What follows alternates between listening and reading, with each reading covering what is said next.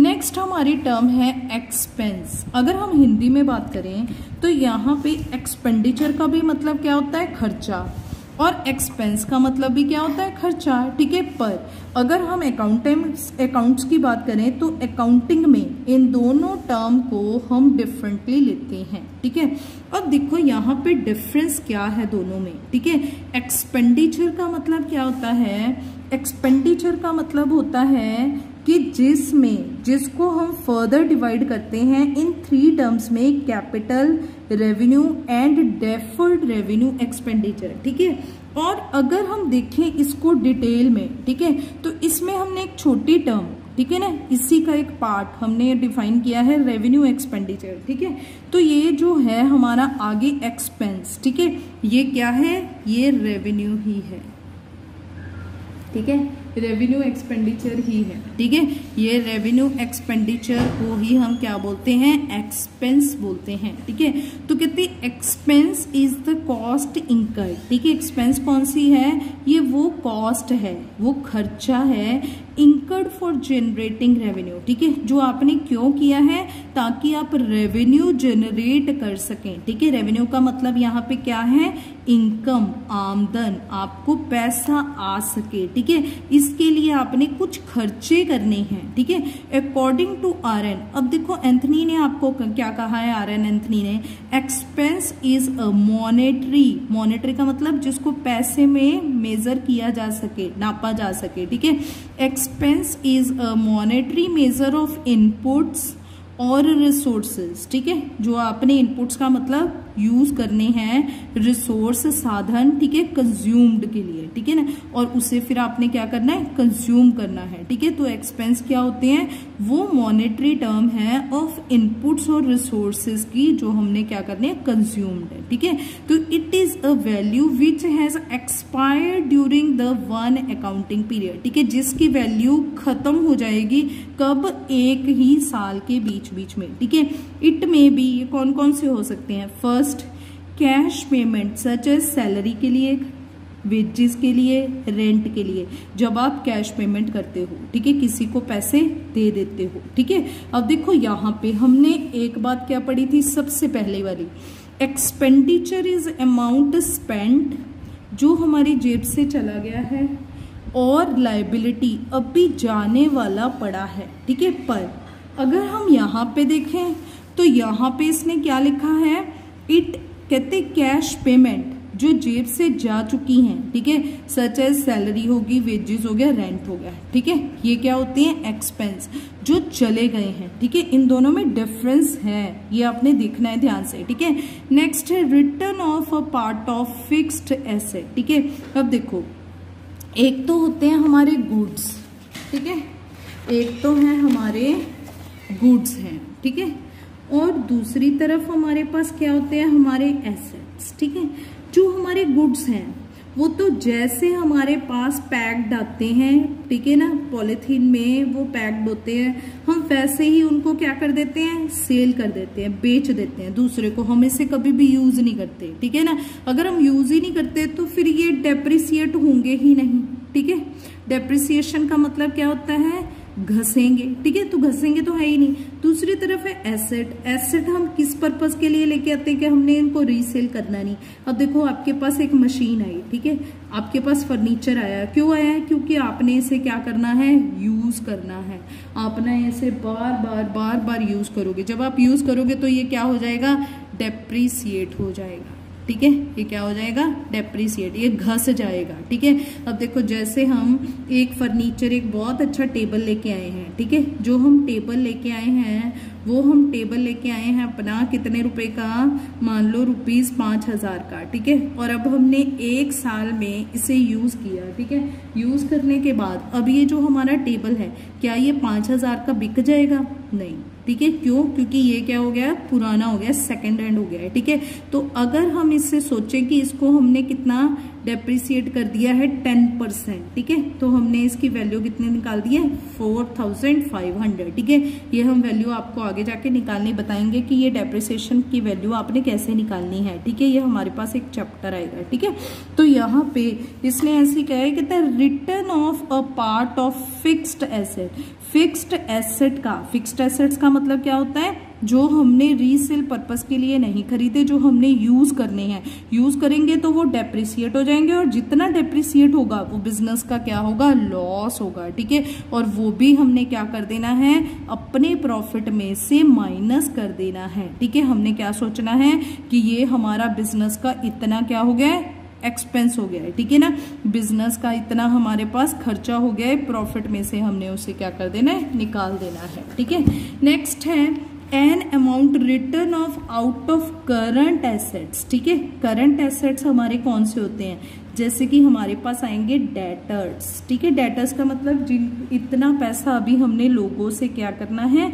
लेना है, ठीक है? अब अगर इतना पैसा अपने लोगों से लेना है, ठीक है? तो उनमें से कुछ हमारे बैड डेट भी होंगे। डेट का मतलब क्या होता है? कर्जा। बैड का मतलब जो डूब गया, ठीक है? कुछ हमारे डूबेंगे भी, ठीक है? तो वो अमाउंट जो आपने निकाल देना है, वो भी किसमें से निकलेगा? प्रॉफिट में से, क्योंकि इतना प्रॉफिट रिड्यूस हो जाएगा, ठीक है? लोग हमें पैसा देंगे नहीं जिन्होंने जिन, जिनको हमने किस पे सेल किया क्रेडिट पे, ठीक है?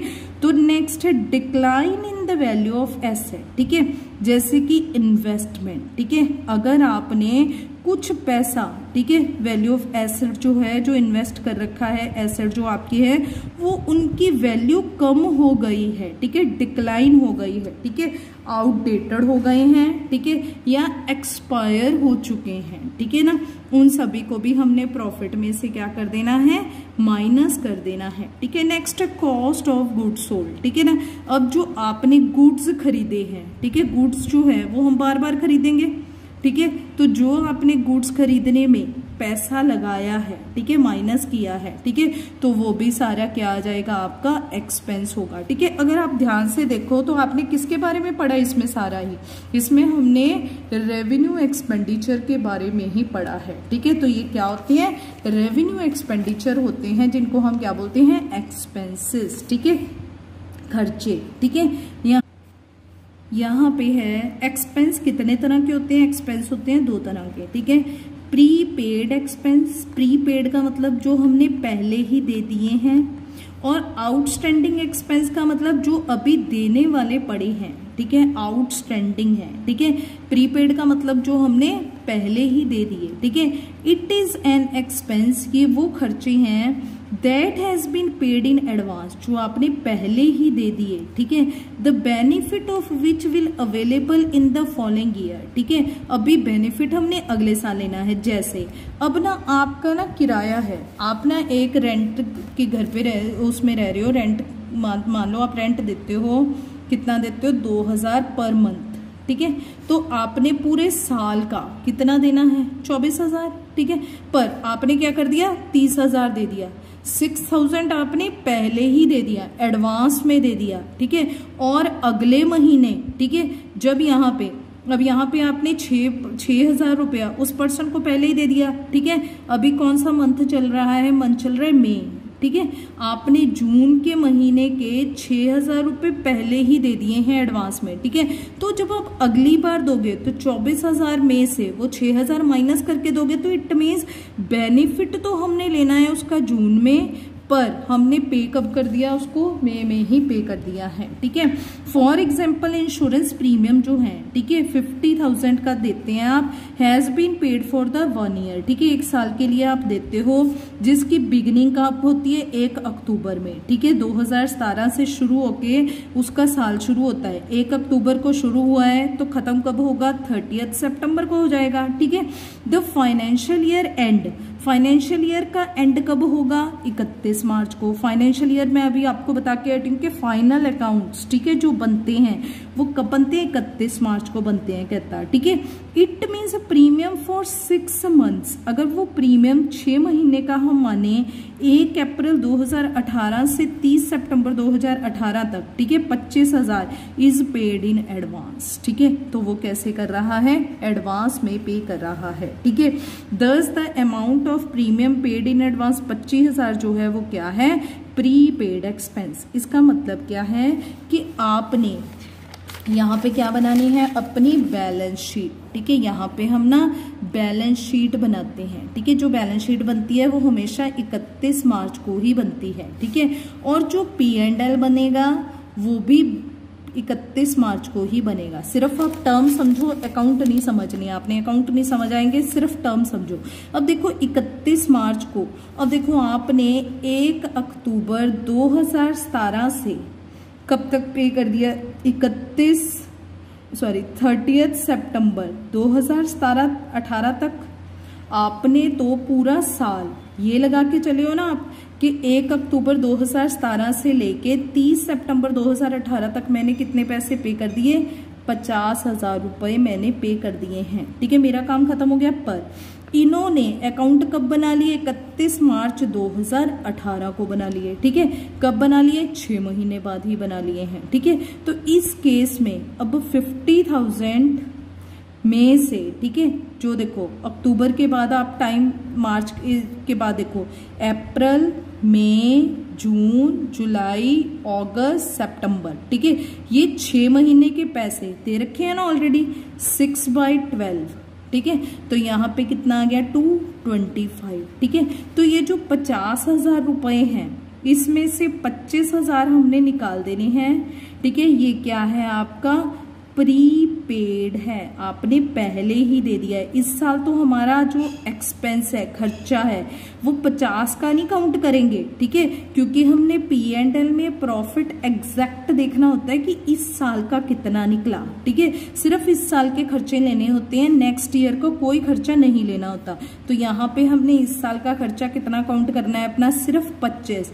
ये जो ट्वेंटी फाइव थाउज़ेंड ये माइनस कर देने हैं। और ये हम किस साइड दिखा देंगे अपनी? एसेट साइड इसको क्या बोलते हैं? प्रीपेड एक्सपेंस या फिर एक्सपेंस का नाम क्या है? इंश्योरेंस कितना आ जाएगा ये? पच्चीस हज़ार। ठीक है? इसका मतलब क्या है कि ये हमारे एसेट है, संपत्ति है। अगले साल हमारे इतने पैसे बच जाएँगे। जब मैंने अगले साल उसको देने हैं तो हमने 25 तो पहले ही दे रखे हैं, और कितने दे देंगे हम? उसको पच्चीस हज़ार रुपए, ठीक है?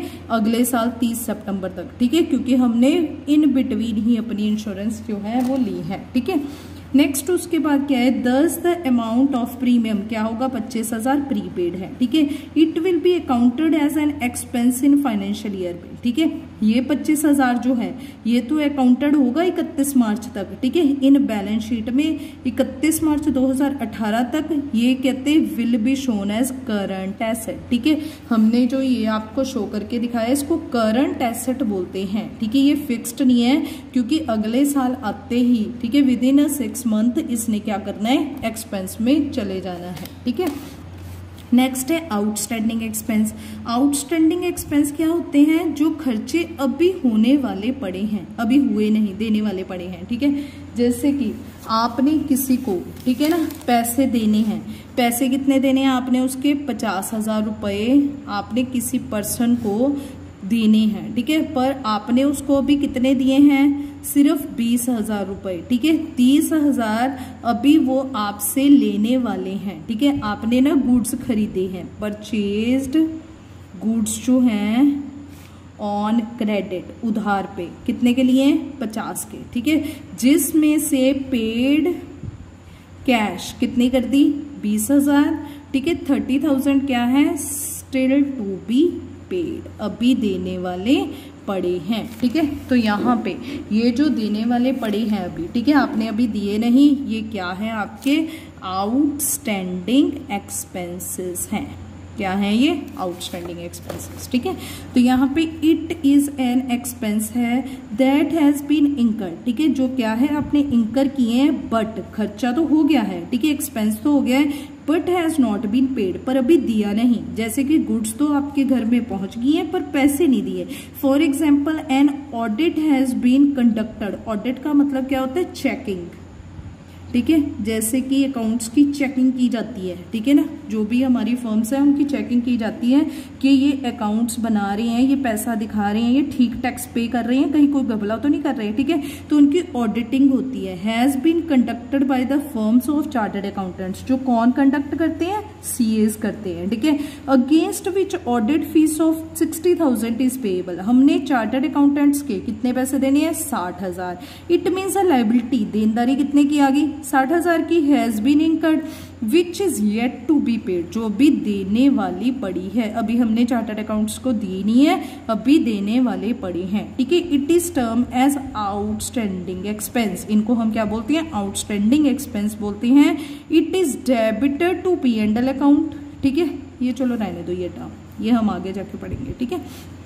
लास्ट चैप्टर में। चलो जी नेक्स्ट हमारी अच्छी टर्म आ गई है इनकम ठीक है, आमदन। अब देखो, ये जो वर्ड है दो। इन दोनों में बहुत ज़्यादा डिफरेंस है इनकम में और प्रॉफिट में। इनकम हम जर्नली लेते हैं कि हमें जितना पैसा कमाया है, हमारी कमाई। प्रॉफिट को भी हम ऐसे कह देते हैं कि हमारी कमाई, ठीक है? पर देखो बच्चे, मैं एक टीचर हूँ, ठीक है? मैं कौन हूँ? एक टीचर ठीक है? जो टीचर है, वो क्या कमाता है? इनकम कमाता है, ठीक है? और जो बिजनेसमैन होते हैं, वो क्या कमाते हैं? प्रॉफिट कमाते हैं, ठीक है? तो ये जो इनकम है, ये तो ब्रॉडर है। हर एक पर्सन कमाता है, ठीक है? अब देखो, जैसे एक पर्सन ने पाँच सौ रुपये का सामान खरीदा, ठीक है? कॉस्ट थी पाँच सौ, बेच दिया छः सौ रुपये का, एक आम आदमी। ठीक है? बिजनेसमैन नहीं है रेगुलर बेस पे काम नहीं कर रहा। सेलिंग प्राइस 600 सौ सौ रुपए का उसने क्या कमा लिया है? इनकम कमा ली है, ठीक है? प्रॉफिट नहीं कमाया। पर अगर यही बंदा रेगुलर बेस पे काम करे डेली ये काम करे, फिर इसको हम क्या बोल देंगे? उसका प्रॉफिट बोल देंगे, ठीक है? तो ये टर्म्स आपने ध्यान से देखनी है। तो कहते income is the profit earned कहते इनकम क्या होती है? जो प्रॉफिट अर्नड किया जाता है ड्यूरिंग एन अकाउंटिंग पीरियड ठीक है? जो कौन करेगा बिजनेसमैन करेगा, ठीक है? अकाउंटिंग पीरियड मैंने आपको पहले ही बता दिया क्या होता है। अकाउंटिंग पीरियड का मतलब जो भी पीरियड ठीक है? आपके बिज़नेस ने अडॉप्ट कर रखा है, वो आपका फाइनेंशियल ईयर भी हो सकता है और अकाउंटिंग ईयर भी, ठीक है? इन अदर वर्ड्स में the difference between revenue and expense is term as income ठीक है? रेवेन्यू में और खर्चे में, ठीक है ना? जो भी आपका डिफरेंस आएगा, ठीक है? उसको हम क्या बोलते हैं? इनकम बोलते हैं, ठीक है? जैसे इसने एग्ज़ाम्पल भी दे रखी है। कहते इट इज़ हम आगे जाके पढ़ते हैं example it is a broader term than the term of profit देखो, इसने ये बात बोल दी है कि इनकम एक ब्रॉडर टर्म है प्रॉफिट से, ठीक है? एंड इंक्लूड्स प्रॉफिट प्रॉफिट इसमें इंक्लूड है, क्योंकि देखो, यहाँ पे भी मैंने एग्ज़ाम्पल दी तो इस बंदे को प्रॉफिट तो हुआ, ठीक है ना? यहाँ पे प्रॉफिट तो हम वर्ड बोलते हैं कि इसको प्रॉफिट हुआ है, ठीक है? तो ये प्रॉफिट इसके बीच में इंक्लूड है। From the activities other than its operating activities ठीक है? यहाँ पे पर कोई ऑपरेशनल एक्टिविटीज़ नहीं की जाती। फॉर एग्ज़ाम्पल गुड्स कॉस्टिंग है पंद्रह हज़ार। पंद्रह हज़ार की तो गुड्स की कॉस्ट है। कॉस्ट का मतलब एक्सपेंस ऊपर इसने बताया रेवेन्यू एंड एक्सपेंस तो एक्सपेंस कितने हैं? पंद्रह हज़ार। एंड सोल्ड सोल्ड का मतलब रेवेन्यू जो आपकी इनकम है, आपकी जेब में आई है। कितने आगे? इक्कीस हज़ार आपकी जेब में आ चुके हैं, ठीक है? The cost of goods sold पंद्रह हज़ार इज़ एक्सपेंस है। सेल ऑफ़ गुड्स इक्कीस हज़ार इज़ रेवेन्यू है, ठीक है? एंड द डिफरेंस छह हज़ार, क्या कमा लिया आपने? इनकम कमा ली है, ठीक है? ये क्या होगी आपकी इनकम ठीक है?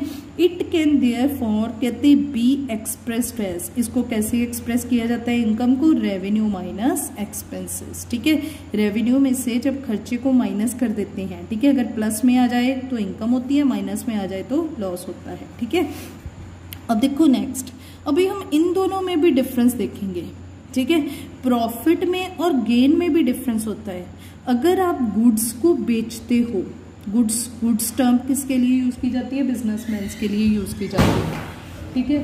तो अगर आप गुड्स के लिए गुड्स को बेच के पैसा कमा रहे हो, ठीक है?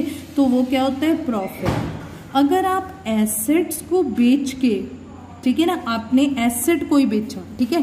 आपके पास मशीनरी पड़ी थी, कितने की थी? वन लाख की, ठीक है? आपने सेल कर दी है वन लैख फाइव थाउज़ेंड में। तो जो पाँच हज़ार रुपये आपके पास आया है, ठीक है? बढ़ के आया है तो उसको हम क्या बोलते हैं? गेन बोलते हैं। हम उसे प्रॉफिट नहीं बोलते कभी भी, ठीक है? इसने यहाँ पे बताया, ऊपर नहीं बताया आपको। कहता profit means income earned by the business ठीक है? प्रॉफिट क्या होता है? जो इनकम अर्न की जाती है, किसके द्वारा? बिजनेसमैन के द्वारा फ्रॉम इट्स ऑपरेटिंग एक्टिविटीज़ ठीक है? जब वो कोई ऑपरेशनल काम करेगा, उसके बाद उससे पैसा आता है जेब में, ठीक है? The activities carried out by enterprise to earn profit ठीक है? जो भी एंटरप्राइज हमने देखे थे डिफरेंट टाइप ऑफ़ फर्म्स होती हैं, ठीक है ना? डिफरेंट टाइप ऑफ़ बिजनेसेस होते हैं उनके ज़्यादा द्वारा जो भी बिजनेसमैन बस रेगुलर बेस पे काम करेगा, आपका कहने का मतलब इनका यही है कि जो भी रेगुलर बेस पे काम करेगा और इनकम कमाएगा, उसको हम क्या बोलते हैं? प्रॉफिट बोलते हैं, ठीक है? For example profit earned from the sale of goods ठीक है? आपने गुड्स को सेल करके जो कमाया है या फिर रेंडरिंग ऑफ़ सर्विसेज़ या फिर सर्विसेज़ दी हैं किसी को भी, ठीक है? तो profit is further divided into gross profit और नेट प्रॉफिट ठीक है? ये टर्म भी आपको आगे जाके समझ आ जाएगी अभी नहीं हम बताएँगे, ठीक है? तो ये भी क्या है? कहते यहाँ पे ग्रे ये थोड़ी टर्म्स टफ है, ठीक है? आगे जाके आएँगी हमारे पास। तो नेक्स्ट उसके बाद है यहाँ पे गेन ठीक है? कहते gain is increase in owner's equity gain से मालिक की इक्विटी बढ़ती है, ठीक है? इक्विटी का मतलब मालिक की कैपिटल, ठीक है? कैपिटल को ऑनर्स इक्विटी भी तो बोलते हैं, ठीक है? Resulting from something other than the day to day earning ठीक है? जिसका result day to day earning के साथ तो हमारी क्या होगी? प्रॉफिट आएगा हमें, ठीक है? फ्रॉम इरेगुलर इरेगुलर का मतलब जो हमेशा नहीं आएँगे, जैसे एसेट है, हम कभी कहीं जाके एक बार बेचते हैं, हमेशा नहीं बेचते। और नॉन रिकरिंग नेचर ये कौन से होते हैं? नॉन रिकरिंग नेचर के होते हैं। रिकरिंग नेचर का मतलब जो बार बार जैसे कि रेवेन्यू इनकम हो रही है, ठीक है? बार बार हो रही है, ठीक है? तो यहाँ पे क्या है? नॉन रिकरिंग नेचर क्या है? Starting differently it is a profit ठीक है?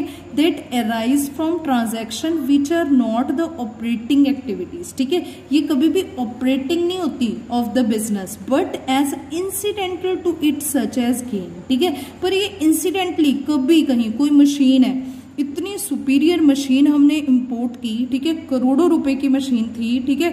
पर वो क्या होगी? आउटडेटेड होगी। जिस, जो वो सामान बना रही है, वो आजकल मार्केट में बिकी नहीं रहा। तो हमें मजबूरन इंसिडेंटली वो मशीन को बेचना पड़ रहा है। ठीक है? अब जब हमें उस मशीन को बेचना पड़ रहा है तो अगर वो मशीन हमारी इंडिया में ठीक है? आपकी कंपनी तो बढ़िया है, बड़ा मैन्युफैक्चरिंग आपने वो खोल रखा है प्रोजेक्ट ठीक है? तो अगर आप किसी को भी मार्केट में बेचोगे, पर वो प्रॉफिट में बिक जाएगी तो उसे क्या कहेंगे? हम गेन कहेंगे, ठीक है? जैसे कि sale of land machinery investments ठीक है? ये सारे क्या होते हैं? गेन होते हैं, याद रखना है। अगर गुड्स के ऊपर हुआ है आपको इनकम तो उसे प्रॉफिट बोलते हैं। अगर आपको प्रॉफिट हुआ है एसेट्स के ऊपर इनकम हुई है एक्स्ट्रा आपको बेनिफिट्स मिले हैं तो वो सारे क्या होंगे, आपका गेन होगा, ठीक है? नेक्स्ट है लॉस ठीक है? लॉस दोनों के केस में लॉस ही होता है बस, ठीक है? कितने loss is the excess of expenses ठीक है? Of the period over its revenue अगर आमदन, अगर इनकम कम है खर्चे ज़्यादा हैं तो हमें क्या हो गया? लॉस हो गया it decrease the owner's equity इससे हमारे मालिक की जो इक्विटी है, जो कैपिटल है, वो क्या हो जाएगी? रिड्यूस हो जाएगी। It is a broad term and include loss incur ठीक है, ये एक ब्रॉडर टर्म है। ठीक है? जिसमें include loss incurred in its operating activities ठीक है? इसमें क्या होता है? ऑपरेटिंग एक्टिविटीज़ के अकॉर्डिंग टू ऑपरेटिंग एक्टिविटीज़ में जो भी लॉस इंकर होता है, या फिर मनी और money worth loss against which firm received no benefits ठीक है? या फिर कोई भी ऐसे टर्म ठीक है, जिसमें मनी रिसीव्ड ही नहीं होता, ठीक है? जैसे कि अभी हमने कौन सी टर्म पढ़ी थी? डेप्रिसिएशन ठीक है? तो ये भी क्या है? लॉस है, ठीक है? जिसमें आपको पैसा रिसीव ही नहीं होगा। और नेक्स्ट है कैश और गुड्स लॉस्ट इन थेफ्ट ठीक है? यहाँ पे अगर चोरी हो गई है आपके गुड्स की, ठीक है ना? तो वो भी नहीं आपके पैसा जेब में आएगा। And loss arising from events of non recurring nature जैसे कि आपने कोई फिक्स्ड एसेट को, ठीक है? बेचा, पर वो कितने की बिकी आपकी कम पैसे की बिकी, ठीक है? तो वो भी क्या होगा? हमारा लॉस होगा, ठीक है? तो पहले प्रॉफिट में तो हमने दो टर्म्स पढ़ी थी प्रॉफिट और गेन पर इसमें क्या है? हमारी एक ही टर्म है लॉस है, इसका मतलब ठीक है? नेक्स्ट है हमारी टर्म परचेजेस परचेजेस का मतलब हम क्या कहते हैं? खरीदना, कुछ भी खरीदना, ठीक है? पर अकाउंटेंसी में परचेजेस की टर्म जो है वो बिल्कुल डिफरेंट है। इसमें परचेजेस का मतलब क्या आएगा? सिर्फ़ गुड्स खरीदने।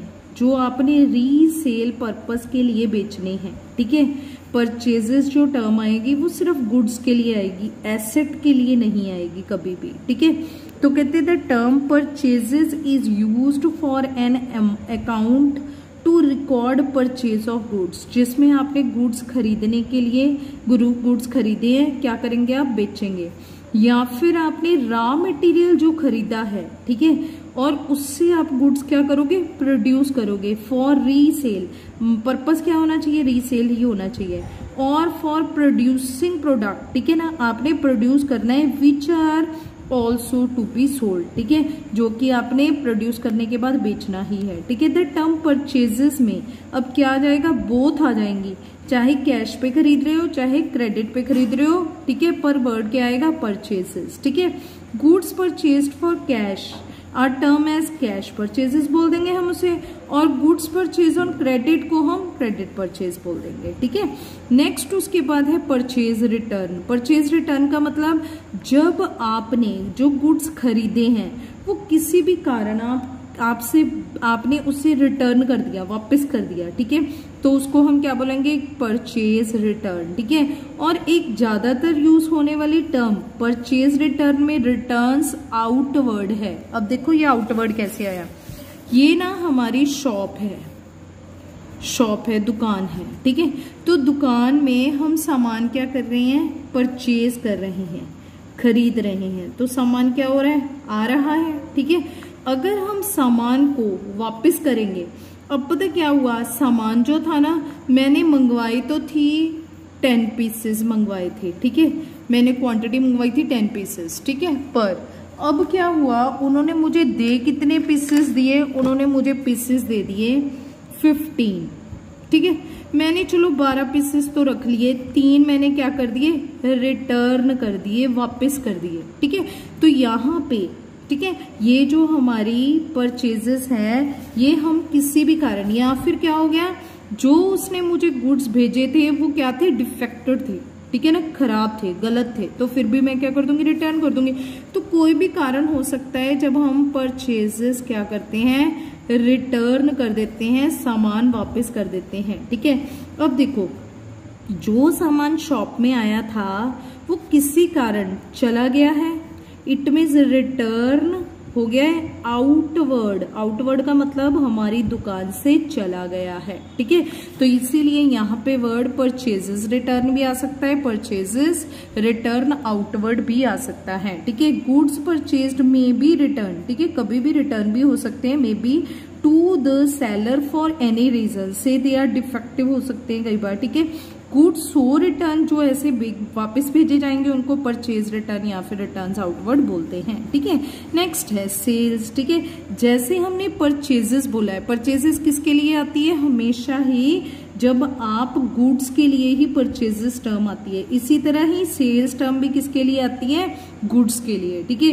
The term sale is associated with और use for sale of goods, ठीक है? किसके लिए एसोसिएटेड है? सेल ऑफ़ गुड्स के लिए। जब आप गुड्स को बेचोगे, ठीक है? गुड्स के लिए सेल वर्ड आएगा, ठीक है?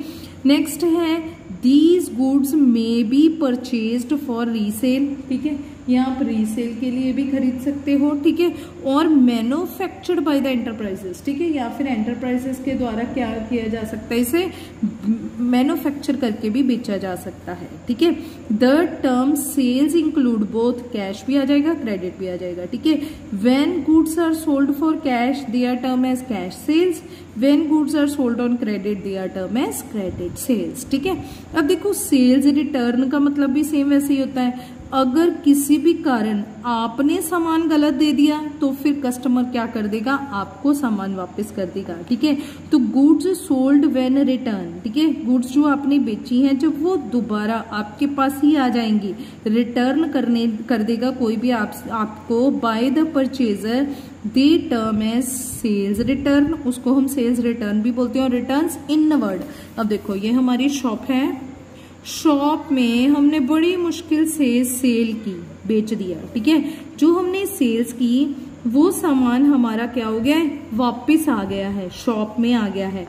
तो इट मीन सेल्स क्या हो गई है? रिटर्न हो गई है। आपकी सेल का सामान जो आपने बेचा था, जो आपने बाहर निकाला था, वो क्या हो गया है? वापस अंदर आ गया है। तो हम इसे क्या बोलेंगे? सेल्स रिटर्न भी बोल सकते हैं और इसे हम बोलेंगे रिटर्न इनवर्ड इनवर्ड का मतलब सामान वापस आ गया है, इनवर्ड हो गया है, ठीक है? नेक्स्ट देखो। नेक्स्ट टर्म है रेवेन्यू फ्रॉम ऑपरेशन ठीक है? अब कितना revenue from operation means revenue earned by an enterprise ठीक है? एंटरप्राइज कोई भी सोल प्रोप्राइटरशिप फर्म कंपनी कोई भी हो सकता है, ठीक है? जिसने भी रेवेन्यू इनकम कमाई है, ठीक है? किससे? अपने ऑपरेशन से, ठीक है ना? जो भी उसका ऑपरेशन है, जैसे कि साइकिल बनाने की फैक्ट्री है साइकिल बेचने के बाद जो भी आप कमाते हो, वो आपकी क्या होगी? रेवेन्यू होगी इनकम होगी, आमदन होगी, ठीक है? फ्रॉम इट्स ऑपरेटिंग एक्टिविटीज़ ठीक है? जो भी आप ऑपरेटिंग का मतलब ऑपरेशनल एक्टिविटीज़ कर रहे हो ऑपरेशनल का मतलब जो आपकी फैक्ट्री से रिलेटेड टू एक्टिविटीज़ है, ठीक है?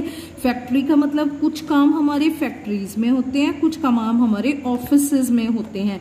फैक्ट्री में हमारा क्या काम होगा? जैसे अभी हमने एग्ज़ाम्पल लिया कि हमारी साइकिल बनाने की फैक्ट्री है, ठीक है? तो साइकिल बनाने के लिए जो भी हम खर्चे करेंगे, ठीक है ना? अब सामान लाने का खर्चा परचेजेस का जो खर्चा है, ठीक है ना? सामान अभी आ रहा है रॉ मटेरियल है, ठीक है? उसको हमने मजदूरों के द्वारा बनवाना है तो मजदूरों को हमें क्या देनी पड़ेगी? वेजेस देनी पड़ेगी, ठीक है ना? और हमें किराया देना पड़ेगा, लाने का कैरेज इनवर्ड का, ठीक है ना? तो ये सारे जितने भी खर्चे हैं, ये सारे खर्चों के ऊपर, ठीक है ना? जो भी ऑपरेटिंग एक्टिविटीज़ के ऊपर आप आमदन कमाओगे, उसको बोलते हैं रेवेन्यू फ्रॉम ऑपरेशन ठीक है? द, अब ये वाली टर्म जो है, ये डिफ़िकल्ट है अभी। ये आपने नहीं करनी, बस आपने इतनी ही करनी है, ठीक है? ये हम आगे जाके पढ़ेंगे नेक्स्ट उसमें, ठीक है? अब देखो, यहाँ पे है, इसने ये बताया कि इस सभी का, ठीक है ट्रीटमेंट कैसे होगी? ये ट्रीटमेंट आप लास्ट चैप्टर में अच्छे से सीख जाओगे। नेक्स्ट है भाई गुड्स अब देखो गुड्स क्या होते हैं? हम बार बार पढ़ रहे हैं गुड्स गुड्स गुड्स ठीक है? गुड्स क्या होते हैं? Goods are the physical item ठीक है? फ़िज़िकल का मतलब जो चीज़ हमें दिखाई दे, ठीक है? फ़िज़िकल आइटम हो, जिसकी कुछ फ़िज़िकल एबिलिटी हो, ठीक है? कहते ऑफ़ ट्रेड व्यापार की that are purchase to be sold ठीक है? जो खरीदी है, क्यों खरीदी है? उसका पर्पज क्या है कि हमने उसे दोबारा बेचना है, ठीक है? The term applies to all the item making up the sales ठीक है? इसमें वो सारी ही आइटम्स आ जाएँगे, ठीक है? जो किस पर्पज से खरीदी हैं? बेचने के पर्पज से खरीदी हैं, ठीक है? और परचेजेस ऑफ़ बिज़नेस ठीक है ना? या फिर बिज़नेस करने के, ठीक है ना? इसलिए खरीदिए कि हमने बिज़नेस करना है, ठीक है? Starting differently they are stock in trade of enterprise ठीक है ना? इसको हम स्टॉक इन ट्रेड भी बोल सकते हैं, ठीक है? परचेज और manufactured with the purpose of selling ठीक है? अब देखो स्टॉक इन ट्रेड का मतलब जिन्होंने खरीदा है या फिर मैन्युफैक्चर किया है, ठीक है ना? उनके लिए ये वर्ड स्टॉक इन ट्रेड आ जाता है। स्टॉक इन ट्रेड का भी यही मतलब है, ठीक है? तो इसको हम डिफरेंटली स्टेट कर सकते हैं, अलग तरीके से बोल सकते हैं। स्टॉक इन ट्रेड स्टॉक का मतलब ये हमारे ट्रेड का व्यापार करने का एक स्टॉक है, जिसको हम क्या बोलते हैं? गुड्स भी लिख सकते हैं, ठीक है? Foreign enterprises dealing in home appliances ठीक है? अगर कोई भी एंटरप्राइज कोई भी शॉप कोई भी फर्म कोई भी कंपनी ठीक है? डील कर रही है, ठीक है? होम अप्लायंसेस से सच एज टीवी हो गया फ्रिज हो गया एसी हो गया, ये सारे क्या हैं गुड्स हैं, ठीक है? एंड फॉर स्टेशनर ठीक है ना? जो पेन पेंसिल बेचने वाला बंदा है, ठीक है? स्टेशनर जो है, उसके लिए स्टेशनरी क्या होगी है? गुड्स हो गई है, ठीक है? तो ये क्या नाम आएगा? गुड्स आएगा, ठीक है? अब देखो स्टॉक और इन्वेंट्री है इन्वेंट्री का मतलब क्या होता है? अभी हमने गुड्स पढ़ा है। गुड्स का मतलब क्या होता है? जो रेडी सामान होता है। ठीक है ना? यहाँ पे स्टॉक इन ट्रेड वर्ड जिसके लिए यूज़ किया जाता है। ठीक है ना? कितने यहाँ पे इन्वेंट्री का मतलब क्या है? स्टॉक या फिर inventory is a tangible asset है। ठीक है? टेंजिबल का मतलब जिसे हम देख सके, छू सके, जैसे ऊपर लिखा है, ये एक फ़िज़िकल आइटम है, ठीक है? Held by enterprises for the purpose of sale ठीक है? क्यों ली है? कि हमने इसे बेचना है in ordinary course of business में, ठीक है? जो हम आम डेली काम करेंगे for the purpose of using it in the production of goods ठीक है? मेंट फॉर सेल ठीक है? क्यों हमने इसे यूज़ करना है? हम इसे सेल करेंगे और पैसा कमाएँगे, ठीक है? स्टॉक कितने तरह का होता है? मेनली दो तरह का स्टॉक आप बार बार हर ईयर देखोगे। एक होता है ओपनिंग स्टॉक और एक होता है क्लोजिंग स्टॉक, ठीक है? अब देखो, मैं आपको एक अकाउंट दिखा रही हूँ। आपने ये अकाउंट नहीं देखना। आपने सिर्फ़ टर्म को समझना है। अकाउंट अभी आपको समझ नहीं आएगा, ठीक है? ये देखो, जैसे कि ना यहाँ पे मैंने ना अपना बिज़नेस शुरू किया है 2018 में 2018 में ना मैंने अपना बिज़नेस शुरू किया ये अकाउंट नहीं समझना, सिर्फ़ टर्म समझनी है। यहाँ पे मेरा ओपनिंग स्टॉक ज़ीरो है। फिर मैंने ना सामान खरीदा बेचने के लिए। सामान खरीदा मैंने? कितने का खरीदा? दस हज़ार का। उसमें से मैंने बेच दिया सामान। कितने का बेच दिया? मैंने आठ हज़ार का। ठीक है? दस हज़ार का सामान खरीदा, आठ का बेच दिया। आज मेरे जेब में, मेरे पास, जेब में नहीं, मेरे पास कितने का स्टॉक पड़ा है? दो हज़ार रुपए का स्टॉक पड़ा है, ठीक है? इसको बोलते हैं क्लोजिंग स्टॉक जो at the end of the year आपका बच गया। नेक्स्ट आ गया ईयर हमारा 2019 ये जो सामान हमारा 2018 में बचा है, ये क्या हम बाहर थोड़ी ना फेंक देते हैं? ठीक है ना? वो हम अगले साल फिर यूज़ करेंगे। तो ये हमारा क्या हो गया? ओपनिंग स्टॉक कितना हो गया? दो हज़ार रुपए। ठीक है? और फिर मैंने खरीद लिया। कितना खरीदा? दस हज़ार का सामान। ठीक है? टोटल मेरे पास बारह हज़ार का सामान आ गया। जिसमें से मैंने बेच दिया सेल कर दिया, कितने का सामान? छह हज़ार का। इस बार मेरे पास कितने का सामान बच गया है? चार हज़ार का। ठीक है ना? तो यहाँ पे सॉरी छह हज़ार का सामान मेरे पास बच गया है। ठीक है ना? तो मेरा क्लोजिंग स्टॉक कितना आ गया? छह हज़ार, ठीक है? अब देखो 2020 की बात ले लो। 2020 में मेरा ओपनिंग स्टॉक कितना हो गया? छह हज़ार, ठीक है? जो पिछले साल बचा था, ठीक है? छह हज़ार हो गया। और इस बार मैंने फिर खरीद लिया सामान। कितने का खरीदा? दस हज़ार का। मेरे पास टोटल सोलह हज़ार का सामान था, जिसमें से मैंने बारह हज़ार का सामान क्या कर दिया है? बेच दिया है। आज मेरे पास सामान कितने का पड़ा है? चार हज़ार रुपये का। आपको समझ आई बात? ओपनिंग स्टॉक ठीक है? क्या होता है? Closing stock of last year ठीक है? जो आपका देखो opening stock is the stock in hand जो आपके हाथ में पड़ा है in the beginning of the accounting year ठीक है? जब आपके साल की शुरुआत होती है। अब देखो, इस साल तो मैंने अपना बिज़नेस 2018 में तो शुरू किया था। तो पिछले साल का तो स्टॉक मेरा कुछ भी नहीं था ज़ीरो स्टॉक था, ठीक है? यहाँ पे मैंने लिया ही नहीं। पर 2018 में मैंने सामान खरीदा, इसमें से कुछ सामान बिक गया, कुछ बच गया। तो इस टाइम मेरा क्लोजिंग स्टॉक बच गया है, ठीक है? ओपनिंग स्टॉक का ये देखो, यहाँ पे ओपनिंग स्टॉक कितना, क्या आएगा? जो स्टॉक इन हैंड है, ठीक है? जो हमारे हाथ में है। कब है? In the beginning of the accounting year ठीक है? जो भी आपका ईयर है 2019 उसके बिगिनिंग में, शुरुआत में ही आपके पास है, ठीक है?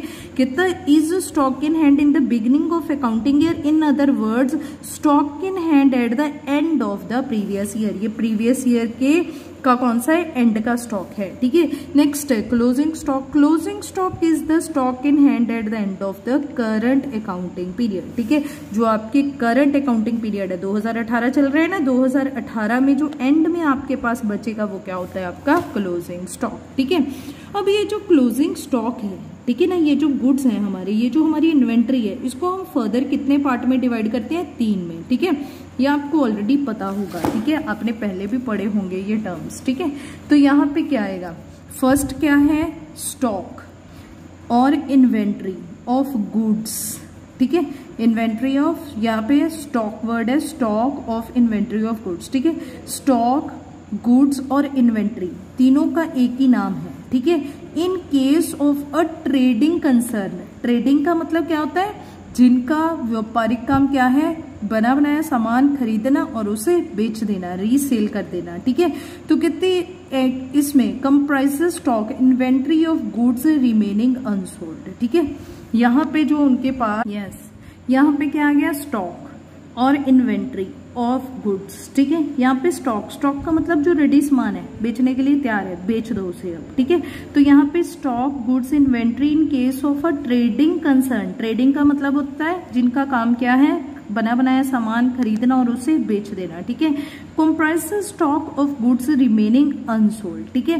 तो यहाँ पे स्टॉक का मतलब जो उनके सामान, देखो, ये दो वर्ड्स आपके पास बार बार आएँगे।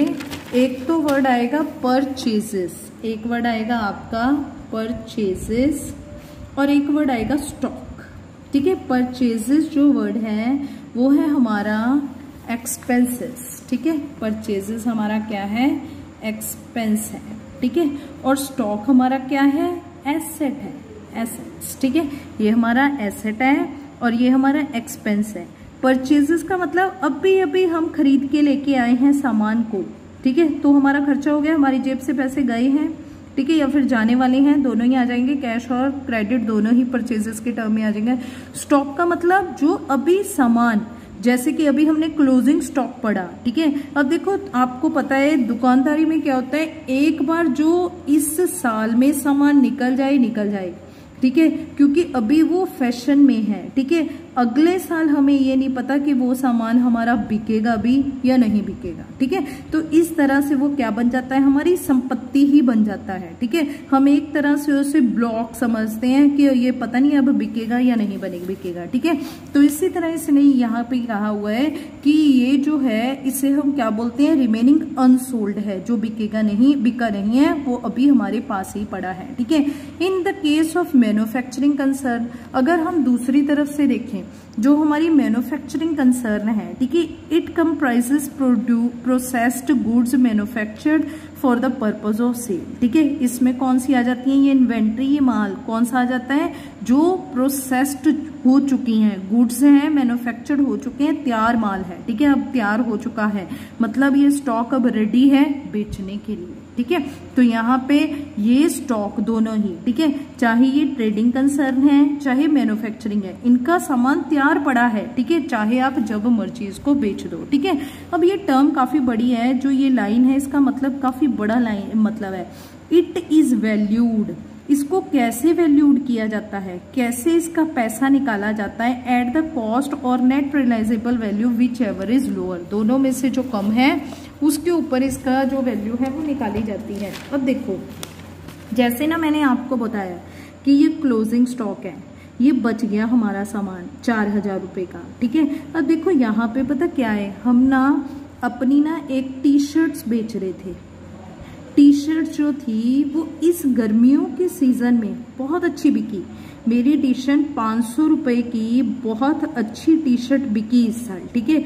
और मेरे पास ना अब एट प्रेजेंट पाँच सौ इंटू आठ टी शर्ट्स बच गई हैं, चार हज़ार रुपये की, ठीक है? अब ये मैंने कहाँ पे रख दी? अपने गोडाउन में रख दिए क्योंकि अभी गर्मी का सीज़न ख़त्म हो गया, सर्दी आ गई है तो फिर मैंने क्या कर दिया? इससे गर्मी के सीज़न की ये जो टी शर्ट्स थी, मैंने रख दी हैं गोडाउन में, ठीक है? पर अब देखो, ये जो गोडाउन में रख दिए हैं, ये जो टी शर्ट्स मेरी इस साल तो बिकी। अगली बार, अगले साल, हो सकता है ये टी शर्ट्स जो है, ये आउटडेटेड हो जाए। कोई इसकी, इसको 500 की पूछे ही ना। ये मुश्किल से साढ़े चार सौ की बेचूं, या फिर 300 की हम जो सेल लगा देते हैं, ठीक है ना? जो हमारा मटेरियल आउटडेटेड हो जाता है, ठीक है? वो लगा के हम बेचें इसको, ठीक है? कम दामों में कि हाँ भाई ले लो, कोई भी ले लो इसे, ठीक है? या फिर ये जो टी शर्ट है, इसकी डिमांड इतनी ज़्यादा बढ़ जाए, हो सकता है इन फ्यूचर ठीक है? किसी की दुकान पे ये अवेलेबल ना हो, सिर्फ़ मेरी दुकान पे हो, ठीक है? और मेरी यही टी शर्ट सात सौ की बिक जाए, कुछ भी हो सकता है। ठीक है? ये तो नेक्स्ट ईयर की बातें है। साढ़े चार सौ की भी बिक सकती है, तीन सौ की भी और सात सौ की भी बिक सकती है, ठीक है? पर जब भी हमने अपने अकाउंटिंग्स करने अब जब हमने अपने फाइनल अकाउंट्स बनाने हैं तो हमने हमेशा एंटीसिपेट करना है लॉसेस को। कभी भी प्रॉफिट्स को एंटिसिपेट करते हुए नहीं चलना है। हमने कभी ये नहीं सोचना कि इन फ्यूचर मुझे प्रॉफिट ही होने वाला है, ठीक है? हमने ये सोचना है कि मुझे इन फ्यूचर क्या होगा? लॉस होगा, ठीक है? जिस केस में मैं क्या देखूँगी? इस केस में हमने देखना है, ये देखो लिखा है, जो वैल्यूड करेंगे हम, जो क्लोजिंग स्टॉक की हम वैल्यू निश्चित करेंगे यहाँ पे, कितनी कॉस्ट जो मेरी कॉस्ट है, कितनी है? पाँच सौ रुपये और नेट रियलाइजेबल वैल्यू ठीक है? जो उसकी रियलिटी में नेट रियलाइजेबल का मतलब जो मार्केट वैल्यू मार्केट में जो उसकी वैल्यू चल रही है, ठीक है? उस वैल्यू में से विच एवर इज़ लोअर दोनों में से जो कम है, दोनों में से कम कौन है? 300 तो अब हम इससे 4000 की नहीं लगाएँगे, हम 300 सौ इंटू आठ। कितना? 2400 की लगा के इसे रखेंगे। ठीक है? तो ये जो क्लोजिंग स्टॉक होता है, ये जो बचा हुआ सामान होता है, इसको हम कैसे वैल्यूड करते हैं? कॉस्ट और net realisable value whichever is lower है, ठीक है? नेक्स्ट है स्टॉक और इन्वेंट्री ऑफ़ रॉ मटेरियल ठीक है? रॉ मटेरियल की stock of raw material raw material का मतलब कच्चा सामान है, जो अभी बनने के लिए तैयार, अभी बनेगा, ठीक है ना? अभी हम उसे, उसकी जो प्रोसेस है, वो अभी चलेगी, अभी हम उसका कच्चा सामान लेके आए हैं, ठीक है? तो यहाँ है it comprises the stock of raw material use for manufacturing of goods lying unused ठीक है? अभी तो पड़ा है ये, ठीक है? जो अभी मैन्युफैक्चरिंग होगा। ठीक है? For example stock of clothes to be use for stitching shirts ठीक है? अभी क्लोथ है, अभी कपड़ा पड़ा है, ये हमारे पास, अभी हम इसे यूज़ करेंगे और इससे क्या बना देंगे? टी शर्ट्स या शर्ट्स बना देंगे। ठीक है? स्टिच करेंगे इसे। It is valued at cost और net realisable value whichever is lower ठीक है? इसको भी हम कैसे करेंगे? इसी तरह से। क्यों? ये भी स्टॉक है हमारे पास, पड़ा हुआ है। ठीक है? नेक्स्ट है work in progress work in progress का मतलब क्या है? जो सामान बन रहा है अभी, ठीक है ना? अभी थोड़ा आधा बन चुका है, आधा बनने के लिए रहता है, ठीक है? It is stock that is process of being finished ठीक है? अभी फिनिश्ड होने जा रहा है। जैसे अभी क्लोथ है क्लोथ की शर्ट बनने जा रही है, जिसका अभी कॉलर लगाना है और पॉकेट लगानी है, ठीक है? तो अभी बनने जा रहा है, ठीक है? They are partially finished goods आधा तो बन चुका है। It is valued at an aggregate of cost of raw material ठीक है? ये क्या है कहते हैं वैल्यूड किया जाता है aggregate of cost of raw material की टोटल कॉस्ट ली जाती है। टोटल कॉस्ट का मतलब जैसे कि कॉस्ट ऑफ़ लेबर वेजेस इसमें ऐड की जाती हैं। अदर प्रोडक्शन कॉस्ट ठीक है? जैसे कि पावर फ्यूल यूज़ किए जाते हैं। पावर का मतलब इलेक्ट्रिसिटी ठीक है? जो बड़ी बड़ी मशीनें चलती हैं तो उसमें हमें बिजली की यूज़ नहीं इलेक्ट्रिसिटी नहीं यूज़ करते, हम वर्ड यूज़ करते हैं पावर क्योंकि उसमें हमें मोर वोल्ट वोल्ट की ज़रूरत, ज़्यादा पावर की ज़रूरत पड़ती है, ठीक है? फ्यूल फ्यूल का मतलब उसमें जो ऑयल जो पेट्रोल जो ग्रीस जो भी चीज़ें आपको यूज़ करनी होती हैं, ठीक है? तो ये सारी कॉस्ट उसमें क्या होती है? इन्वॉल्व होती हैं, ठीक है? ये हम प्रैक्टिकली करेंगे तो आपको ये टर्म्स ज़्यादा अच्छे से क्लियर हो जाएँगे ठीक है? नेक्स्ट उसके बाद ये टर्म बैलेंस शीट में जो होगी, ये हम बाद में ही करेंगे, ठीक है? नेक्स्ट है हमारा, अब हम छोटी छोटी टर्म्स ले लेते हैं, बड़ी टर्म बाद में करेंगे। चलो, देखो कॉस्ट कॉस्ट का मतलब क्या होता है? Cost it is the amount of expenditure ये एक्सपेंडिचर का, वो अमाउंट है इंकर्ड ऑन और attributable to a specified article जो भी एक particular specified article product activity पे ठीक है इंकर होता है, ठीक है, जैसे कि एक टी शर्ट है, मैंने कितने की खरीदी? पाँच सौ की। बेची कितने की मैंने? आठ सौ की, ठीक है? तो मैंने तीन सौ रुपए का क्या कर लिया? प्रॉफिट कमा लिया, ठीक है? तो ये क्या है इसकी? कॉस्ट है, कीमत है, ठीक है? अमाउंट ऑफ़ एक्सपेंडिचर है इंकर्ड ऑन और एट्रीब्यूटेबल और स्पेसिफिड कोई भी एक स्पेसिफिक कोई भी आर्टिकल या प्रोडक्ट या एक्टिविटी पे जो हम कहते हैं कि हमें इतना पड़ गया, इतनी कीमत पड़ गई है, ठीक है? इतनी कॉस्ट पड़ गई है इसकी, ठीक है? लागत। नेक्स्ट है वाउचर वाउचर्स क्या होते हैं? कहते voucher is an evidence evidence होता है ये, एक सबूत होता है ऑफ़ बिज़नेस ट्रांजेक्शन्स ठीक है? जिसमें आपके अकाउंटेंट या आपके जो आपका वो होता है क्लर्क होता है, उसके द्वारा लिखा जाता है। ठीक है ना? एविडेंस होता है ये, एक सबूत होता है। एग्ज़ाम्पल ऑफ़ वाउचर्स हम आगे पढ़ेंगे cash memo invoice bill receipt debit credit ठीक है? ये सारे आप आगे बनाओगे जाके, ठीक है? ये वाउचर्स जो हैं, ये बिज़नेस की ट्रांजैक्शंस की लेन देन दिखाते हैं। क्या डेबिट हुआ, क्या क्रेडिट हुआ, ठीक है? नेक्स्ट है डिस्काउंट डिस्काउंट का मतलब होता है छूट देने डिस्काउंट दे देना। It is the reduction in the price of goods ठीक है? ये क्या होती है? रिडक्शन होती है। आपको गुड्स के प्राइस के ऊपर रिडक्शन मिल गई। जैसे कि सामान था, पाँच सौ रुपये का सामान था, उसने आपको पचास रुपये छोड़ दिए, साढ़े चार सौ रुपये का दे दिया, ठीक है? तो ये क्या मिल गया आपको? रिडक्शन मिल गई, छूट मिल गई in the price of goods के ऊपर और from the amount to be paid to customer ठीक है? बाय द एंटरप्राइजेस ठीक है? जो भी कस्टमर ने एंटरप्राइज को देना था पेड करना था, ठीक है? उसके ऊपर क्या मिल गई? रिडक्शन मिल गई है, ठीक है? Discount allowed may be. Discount दो तरीके का होता है, ट्रेड डिस्काउंट होता है और कैश डिस्काउंट होता है। ठीक है, ये दो तरह का डिस्काउंट हम पढ़ेंगे। यहाँ पे आपके पास क्वेश्चंस में आया करेगा दो तरह का डिस्काउंट। ठीक है फ़र्स्ट है trade discount trade discount is the reduction in price by the seller to the purchase of goods when they buy goods of certain quantity or value ठीक है? अगर वो कुछ क्वांटिटी या पर्टिकुलर वैल्यू में सामान खरीदता है ठीक है? तब उसे ट्रेड डिस्काउंट दिया जाता है। Yes yes. यहाँ पे क्या आ गया? स्टॉक और इन्वेंट्री ऑफ़ गुड्स ठीक है? यहाँ पे स्टॉक स्टॉक का मतलब जो रेडी सामान है, बेचने के लिए तैयार है, बेच दो उसे अब, ठीक है? तो यहाँ पे stock goods inventory in case of a trading concern trading का मतलब होता है जिनका काम क्या है? बना बनाया सामान खरीदना और उसे बेच देना, ठीक है? Comprise stock of goods remaining unsold ठीक है? तो यहाँ पे स्टॉक का मतलब जो उनके सामान, देखो, ये दो वर्ड्स आपके पास बार बार आएँगे। एक तो वर्ड आएगा परचेजेस एक वर्ड आएगा आपका परचेजेस और एक वर्ड आएगा स्टॉक ठीक है? परचेजेस जो वर्ड है, वो है हमारा एक्सपेंसेस ठीक है? परचेजेस हमारा क्या है? एक्सपेंस है, ठीक है? और स्टॉक हमारा क्या है? एसेट है एसेट्स ठीक है? ये हमारा एसेट है और ये हमारा एक्सपेंस है। परचेजेस का मतलब अभी अभी हम खरीद के लेके आए हैं सामान को, ठीक है? तो हमारा खर्चा हो गया, हमारी जेब से पैसे गए हैं, ठीक है? या फिर जाने वाले हैं, दोनों ही आ जाएँगे कैश और क्रेडिट दोनों ही परचेजेस के टर्म में आ जाएँगे।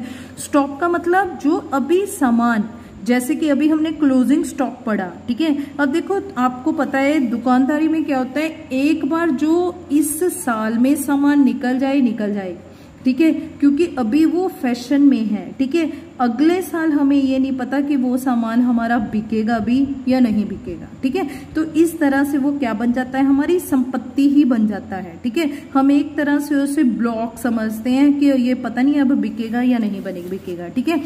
तो इसी तरह इसने यहाँ पे कहा हुआ है कि ये जो है, इसे हम क्या बोलते हैं? रिमेनिंग अनसोल्ड है। जो बिकेगा नहीं, बिका नहीं है, वो अभी हमारे पास ही पड़ा है, ठीक है? In the case of manufacturing concern अगर हम दूसरी तरफ़ से देखें जो हमारी मैन्युफैक्चरिंग कंसर्न है, ठीक है? It comprises processed goods manufactured for the purpose of sale ठीक है? इसमें कौन सी आ जाती है? ये इन्वेंट्री ये माल कौन सा आ जाता है? जो प्रोसेस्ड हो चुकी हैं गुड्स हैं मैन्युफैक्चर्ड हो चुके हैं, तैयार माल है, ठीक है? अब तैयार हो चुका है। मतलब ये स्टॉक अब रेडी है बेचने के लिए। ठीक है? तो यहाँ पे ये स्टॉक दोनों ही, ठीक है? चाहे ये ट्रेडिंग कंसर्न है, चाहे मैन्युफैक्चरिंग है, इनका सामान तैयार पड़ा है, ठीक है? चाहे आप जब मर्ज़ी इसको बेच दो, ठीक है? अब ये टर्म काफ़ी बड़ी है, जो ये लाइन है, इसका मतलब काफ़ी बड़ा लाइन मतलब है।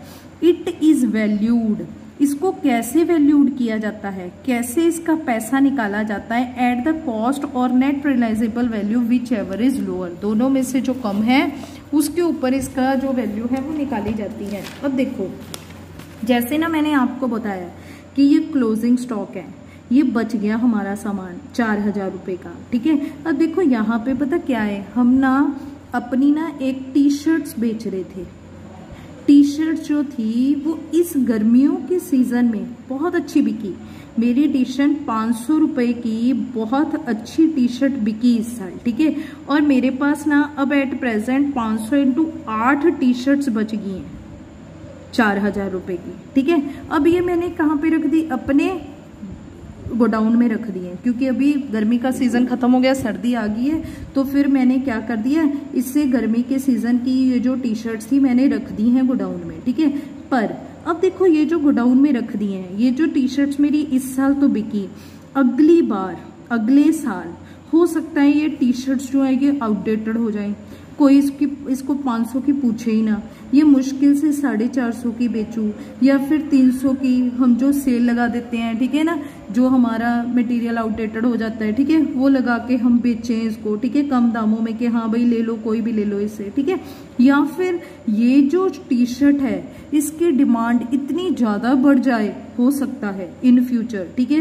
किसी की दुकान पे ये अवेलेबल ना हो, सिर्फ़ मेरी दुकान पे हो, ठीक है? और मेरी यही टी शर्ट सात सौ की बिक जाए, कुछ भी हो सकता है, ठीक है? ये तो नेक्स्ट ईयर की बातें है, साढ़े चार सौ की भी बिक सकती है, तीन सौ की भी और सात सौ की भी बिक सकती है, ठीक है? पर जब भी हमने अपने अकाउंटिंग्स करने अब जब हमने अपने फाइनल अकाउंट्स बनाने हैं तो हमने हमेशा एंटीसिपेट करना है लॉसेस को। कभी भी प्रॉफिट्स को एंटिसिपेट करते हुए नहीं चलना है। हमने कभी ये नहीं सोचना कि इन फ्यूचर मुझे प्रॉफिट ही होने वाला है, ठीक है? हमने ये सोचना है कि मुझे इन फ्यूचर क्या होगा? लॉस होगा, ठीक है? जिस केस में मैं क्या देखूँगी? इस केस में हमने देखना है, ये देखो लिखा है, जो वैल्यूड करेंगे हम, जो क्लोजिंग स्टॉक की हम वैल्यू निश्चित करेंगे यहाँ पे, कितने कॉस्ट जो मेरी कॉस्ट है, कितनी है, पाँच सौ रुपये और नेट रियलाइजेबल वैल्यू ठीक है? जो उसकी रियलिटी में नेट रियलाइजेबल का मतलब जो मार्केट वैल्यू मार्केट में जो उसकी वैल्यू चल रही है, ठीक है? उस वैल्यू में से विच एवर इज़ लोअर दोनों में से जो कम है, दोनों में से कम कौन है? 300 तो अब हम इससे 4000 की नहीं लगाएँगे, हम 300 सौ इंटू आठ। कितना? 2400 की लगा के इसे रखेंगे। ठीक है? तो ये जो क्लोजिंग स्टॉक होता है, ये जो बचा हुआ सामान होता है, इसको हम कैसे वैल्यूड करते हैं? कॉस्ट और net realisable value whichever is lower है, ठीक है? नेक्स्ट है स्टॉक और इन्वेंट्री ऑफ़ रॉ मटेरियल ठीक है? रॉ मटेरियल की stock of raw material raw material का मतलब कच्चा सामान है, जो अभी बनने के लिए तैयार, अभी बनेगा, ठीक है ना? अभी हम उसे, उसकी जो प्रोसेस है, वो अभी चलेगी, अभी हम उसका कच्चा सामान लेके आए हैं, ठीक है? तो यहाँ है it comprises the stock of raw material use for manufacturing of goods lying unused ठीक है? अभी तो पड़ा है ये, ठीक है? जो अभी मैन्युफैक्चरिंग होगा। ठीक है? For example stock of clothes to be use for stitching shirts ठीक है? अभी क्लोथ है, अभी कपड़ा पड़ा है, ये हमारे पास, अभी हम इसे यूज़ करेंगे और इससे क्या बना देंगे? टी शर्ट्स या शर्ट्स बना देंगे। ठीक है? स्टिच करेंगे इसे। It is valued at cost और net realisable value whichever is lower ठीक है? इसको भी हम कैसे करेंगे? इसी तरह से। क्यों? ये भी स्टॉक है हमारे पास, पड़ा हुआ है। ठीक है? नेक्स्ट है work in progress work in progress का मतलब क्या है? जो सामान बन रहा है अभी, ठीक है ना? अभी थोड़ा आधा बन चुका है, आधा बनने के लिए रहता है, ठीक है? It is stock that is process of being finished ठीक है? अभी फिनिश्ड होने जा रहा है। जैसे अभी क्लोथ है क्लोथ की शर्ट बनने जा रही है, जिसका अभी कॉलर लगाना है और पॉकेट लगानी है, ठीक है? तो अभी बनने जा रहा है, ठीक है? They are partially finished goods आधा तो बन चुका है। It is valued at an aggregate of cost of raw material ठीक है? ये क्या है कहते हैं? वैल्यूड किया जाता है aggregate of cost of raw material की टोटल कॉस्ट ली जाती है। टोटल कॉस्ट का मतलब जैसे कि कॉस्ट ऑफ़ लेबर वेजेस इसमें ऐड की जाती हैं। अदर प्रोडक्शन कॉस्ट ठीक है? जैसे कि पावर फ्यूल यूज़ किए जाते हैं। पावर का मतलब इलेक्ट्रिसिटी ठीक है? जो बड़ी बड़ी मशीनें चलती हैं तो उसमें हमें बिजली की यूज़ नहीं इलेक्ट्रिसिटी नहीं यूज़ करते, हम वर्ड यूज़ करते हैं पावर क्योंकि उसमें हमें मोर वोल्ट वोल्ट की ज़रूरत, ज़्यादा पावर की ज़रूरत पड़ती है, ठीक है? फ्यूल फ्यूल का मतलब उसमें जो ऑयल जो पेट्रोल जो ग्रीस जो भी चीज़ें आपको यूज़ करनी होती हैं, ठीक है? तो ये सारी कॉस्ट उसमें क्या होती है? इन्वॉल्व होती हैं, ठीक है? ये हम प्रैक्टिकली करेंगे तो आपको ये टर्म्स ज़्यादा अच्छे से क्लियर हो जाएँगे ठीक है? नेक्स्ट नेक्स्ट है हमारी टर्म ट्रेड रिसीवेबल्स ठीक है? ट्रेड रिसीवेबल्स का मतलब क्या होता है? It is the amount receivable for goods of sale of goods ठीक है?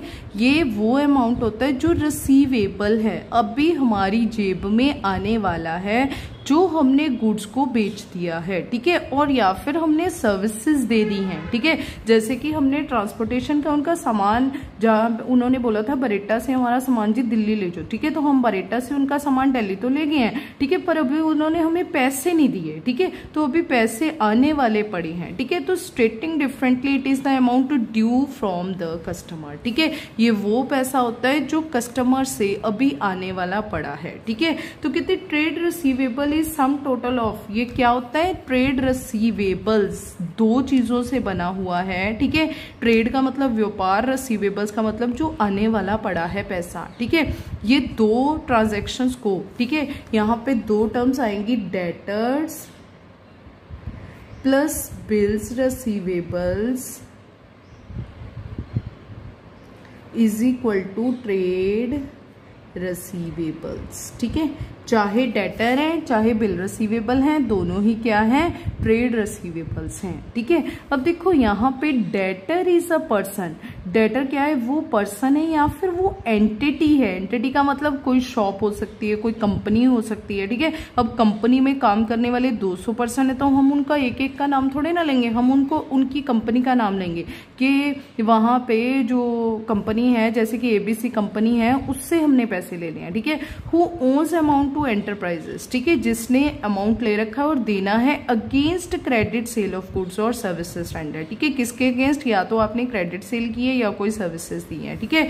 Goods when sold to person ठीक है? गुड्स जब भी आपने पर्सन को सोल्ड करनी है क्रेडिट के ऊपर that person is called debtor ठीक है? उसको हम क्या बोलते हैं? डेटर बोलते हैं because he owns that much amount to the enterprises ठीक है? क्योंकि उसने वो पैसा एंटरप्राइजेस से ले रखा है और उसने उसे देना है, ठीक है? तो क्या बन जाता है? वो डेटर बन जाता है, ठीक है? अब देखो बिल रिसीवेबल बिल रिसीवेबल का मतलब जो बिल्स अभी आने वाले पड़े हैं, ठीक है? जो देखो, एक तो पर्सन जो है, वो मुँह से बोल के कह देते हैं कि हमने इतने पैसे देने हैं, ठीक है? एक हम बिल बना के लेके आते हैं, ठीक है? और बिल बना के जब आपके पास आता है, ठीक है? तो वो बिल जो आने वाले पड़े हैं अभी, ठीक है? तो उसको बोलते हैं बिल रिसीवेबल्स ठीक है? तो bill receivable means bill of exchange accepted by debt letter ठीक है? ये बिल ऑफ़ एक्सचेंज जो होता है, ये एक्सेप्ट किया जाता है। एक्सेप्ट का मतलब माना जाता है डेटर के द्वारा कि हाँ जी, मैं आपको इतने टाइम के बाद ये पैसे दे दूँगा, ठीक है? और ये जो बिल ऑफ़ एक्सचेंज है ये नेगोशिएबल इंस्ट्रूमेंट होता है, ठीक है? ये हमने आगे जाके पूरा डिटेल में एक चैप्टर है, इसका वो पढ़ेंगे हम, ठीक है? तो ये बिल ऑफ़ एक्सचेंज जो होता है, ठीक है ना? ये डेटर के द्वारा एक्सेप्ट किया जाता है कि मैं आपको ये पैसे दे दूँगा, और इसका टाइम पीरियड जो होता है वो कितना होता है? थ्री मंथ्स का होता है, ठीक है? तीन महीने का टाइम पीरियड होता है, ठीक है? उसके बीच बीच में ये पैसे देने होते हैं, ठीक है?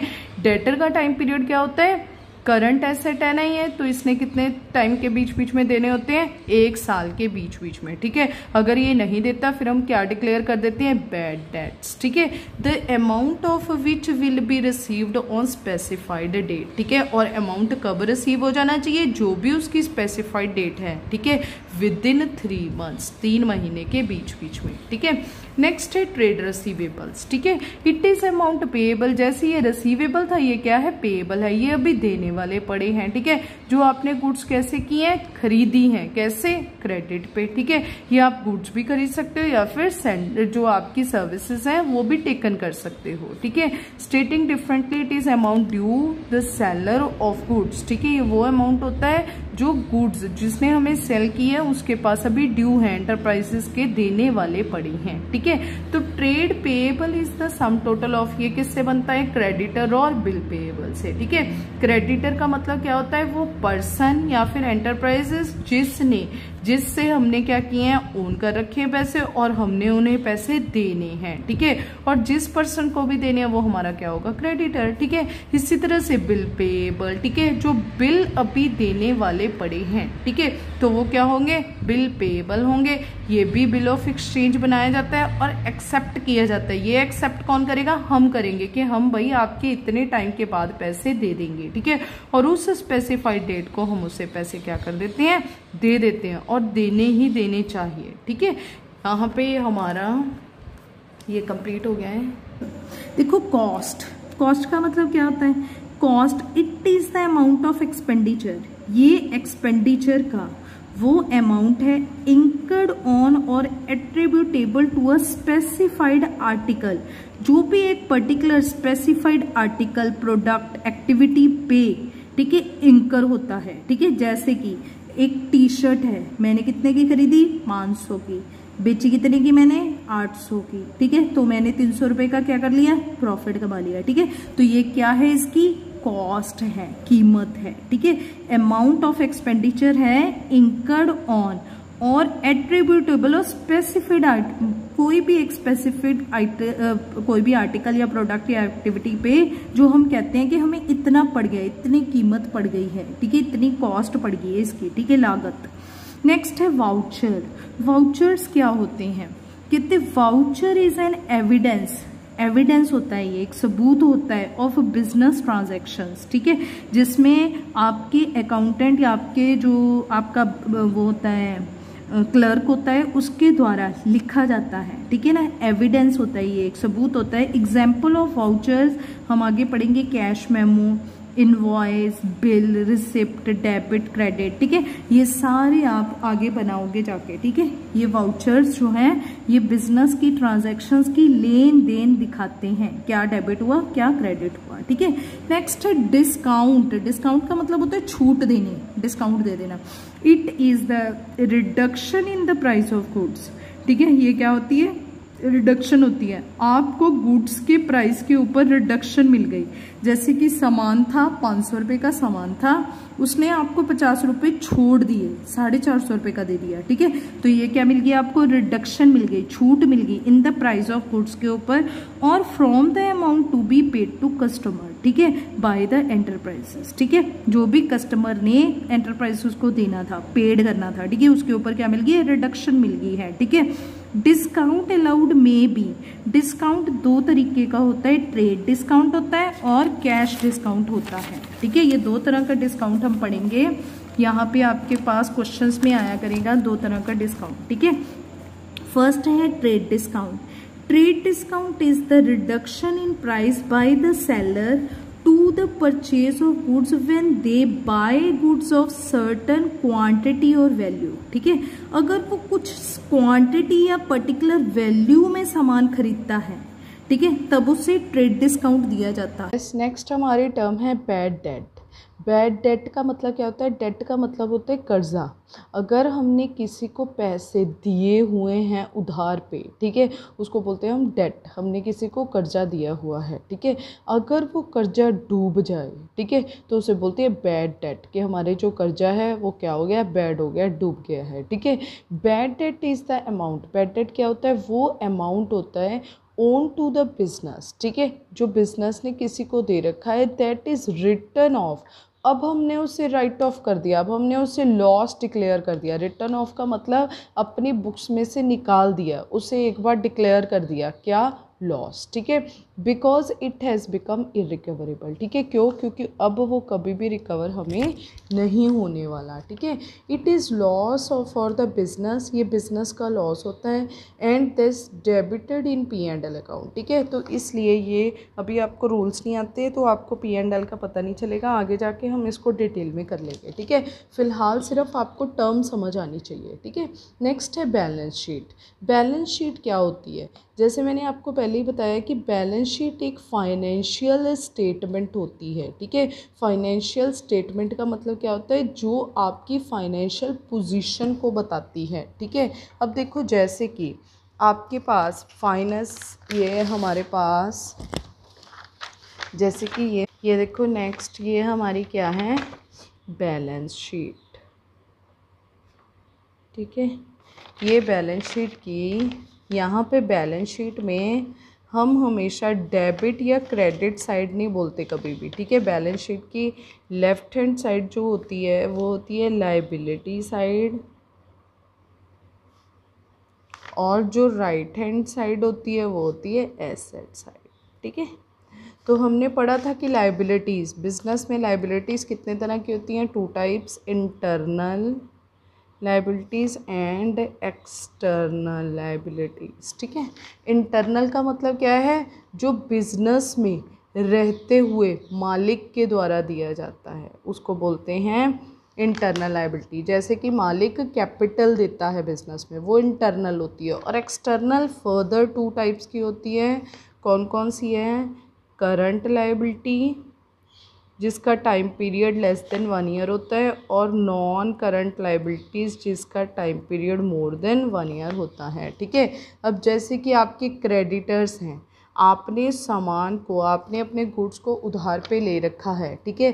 तो ये आपके क्रेडिटर्स हैं और जो क्रेडिटर्स हैं, ठीक है, उनको आपने पैसा विद इन वन ईयर दे देना है, ठीक है? तो ये आपकी करंट लाइबिलिटी हुई और आपने ना मान लो बैंक से लोन ले रखा है, ठीक है ना? और वो आपने पाँच साल के लिए ले लिया है, ठीक है?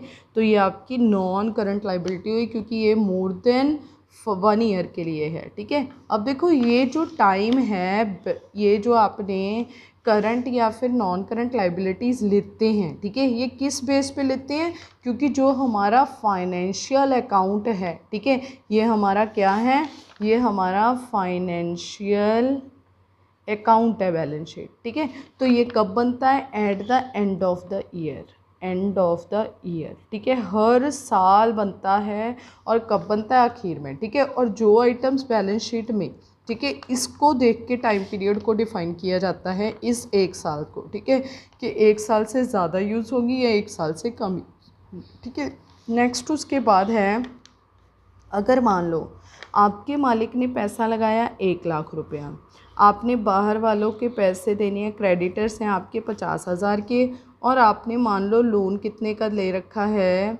लोन मान लो आपने ले रखा है बैंक से तीस हज़ार रुपये का चलो ठीक है? तो यहाँ पे हमारी लाइबिलिटी कितनी आ गई हैं? Total one lakh eighty thousand ठीक है? अब नेक्स्ट है एसेट एसेट भी मेनली कितने तरह के होते हैं? बस दो तरह के ही होते हैं। कौन कौन से? करंट एसेट्स और नेक्स्ट कौन से होते हैं? नॉन करंट एसेट्स ठीक है? करंट का मतलब क्या होता है? जो एक साल के बीच बीच में ही हमारी संपत्ति कैश में कन्वर्ट हो जाती है, ठीक है? एक तो जैसे डेटर्स ठीक है? जिन्होंने हमें पैसा देना है, वो एक साल के बीच बीच में हमें पैसे दे देती हैं, ठीक है? नेक्स्ट उसके बाद आपका क्लोजिंग स्टॉक जो स्टॉक आपका बचा हुआ होता है, ठीक है? वो भी इसी में आ जाता है। आपके पैसे कैश में पड़े हैं, वो तो ऑलरेडी कैश में ही हैं, ठीक है? और जो बैंक में पड़े हैं, ठीक है? जो आप कन्वर्ट कर देते हो इनटू कैश में, ठीक है? ये आपके क्या हैं? करंट एसेट हैं। जो एट प्रेजेंट एक साल के बीच बीच में आपके हाथ में है, ठीक है? और ये आपके पास क्या आ जाएँगे? कैश में कन्वर्ट हो जाएँगे, ठीक है? अब ये आपकी संपत्ति है जो एक साल के बीच की है और नेक्स्ट क्या है? Non current asset non current में क्या क्या आ जाएँगे? बिल्डिंग फर्नीचर जिनका टाइम पीरियड कितना है? मोर देन वन ईयर जो एक साल से ज़्यादा के लिए आपने यूज़ करते रहना है, ठीक है? बिल्डिंग फर्नीचर मशीनरी वट ये सारा है, ठीक है? अब देखो, अगर हम देखें तो ये टोटल कितने के हैं? हमारे सारे ही एट्टी थाउज़ेंड के। और ये टोटल कितने के हैं? वन लाख के और ये भी total one lakh eighty thousand आ गए ठीक है? ये देखो बैलेंस शीट का लेफ़्ट हैंड साइड और राइट हैंड साइड हमेशा ही इक्वल होता है, ठीक है? अब देखो यहाँ पे ये हमारी क्या प्रोवाइड कर रही है? हमें हमारी फाइनेंशियल पोजीशन बता रही है। ठीक है, कि आपकी, अब एसेट क्या होते हैं? हमारी प्रॉपर्टीज़ हमारी संपत्ति, ठीक है? लाइबिलिटीज क्या होती हैं? हमारी देनदारियाँ, जो हमने देनी है लोगों को, ठीक है? चाहे वो इंटरनल हैं, ठीक है? हमारे बिज़नेस में काम कर रहे हैं, चाहे एक्सटर्नल है, बाहर है बिज़नेस के, ठीक है? अब देखो, अगर आप देखो, कोई भी पर्सन जैसे कि बैंक है, वो आपको लोन देने वाला है, ठीक है? तो वो पहले आपकी बैलेंस शीट मंगवाएगा। लाओ जी, अपनी बैलेंस शीट दिखाओ हमें, ठीक है?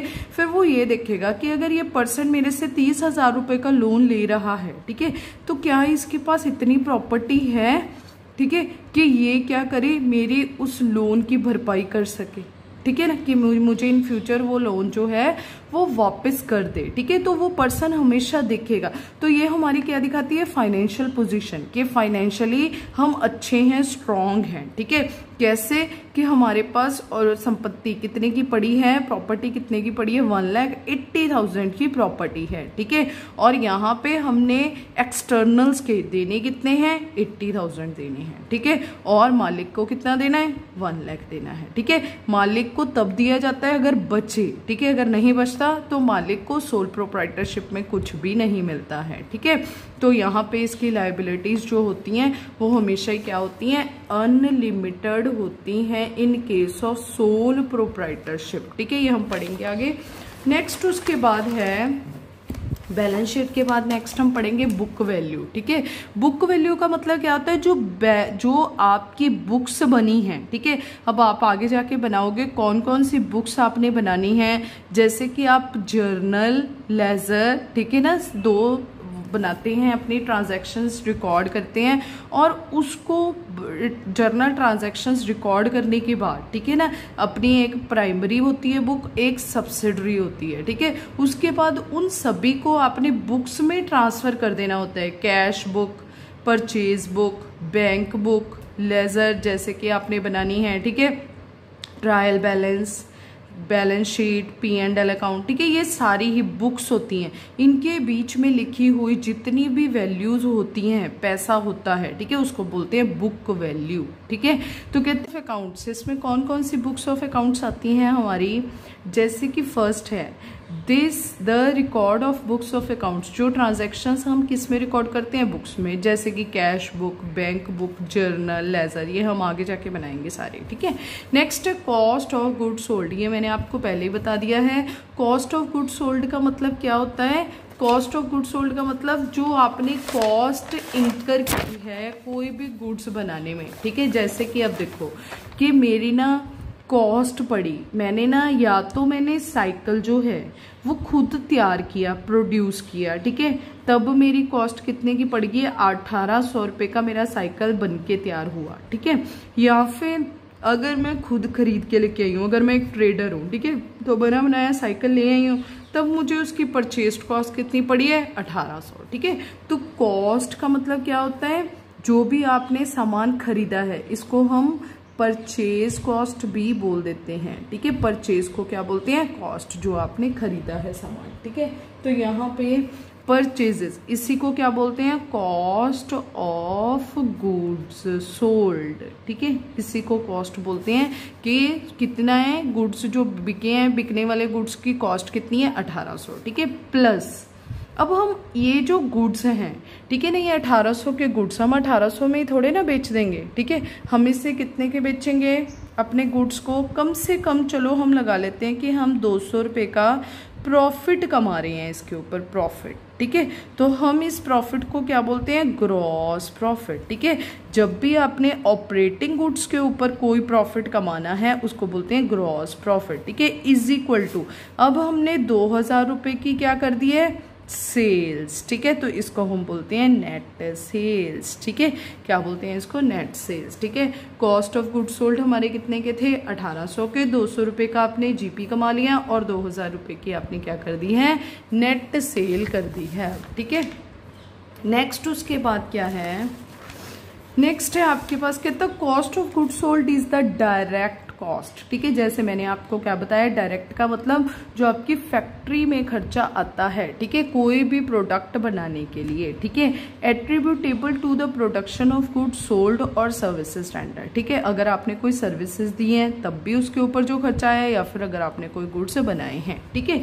नेक्स्ट है क्रेडिट और डेबिट ठीक है, जब भी आप कोई अकाउंट बनाओगे, ठीक है कोई भी अकाउंट जो किस शेप में होगा टी शेप अब देखो, ये जो बैलेंस शीट है, ये हमने बनाई, ये किस शेप में थी? बैलेंस शीट हमारी टी शेप में, ठीक है?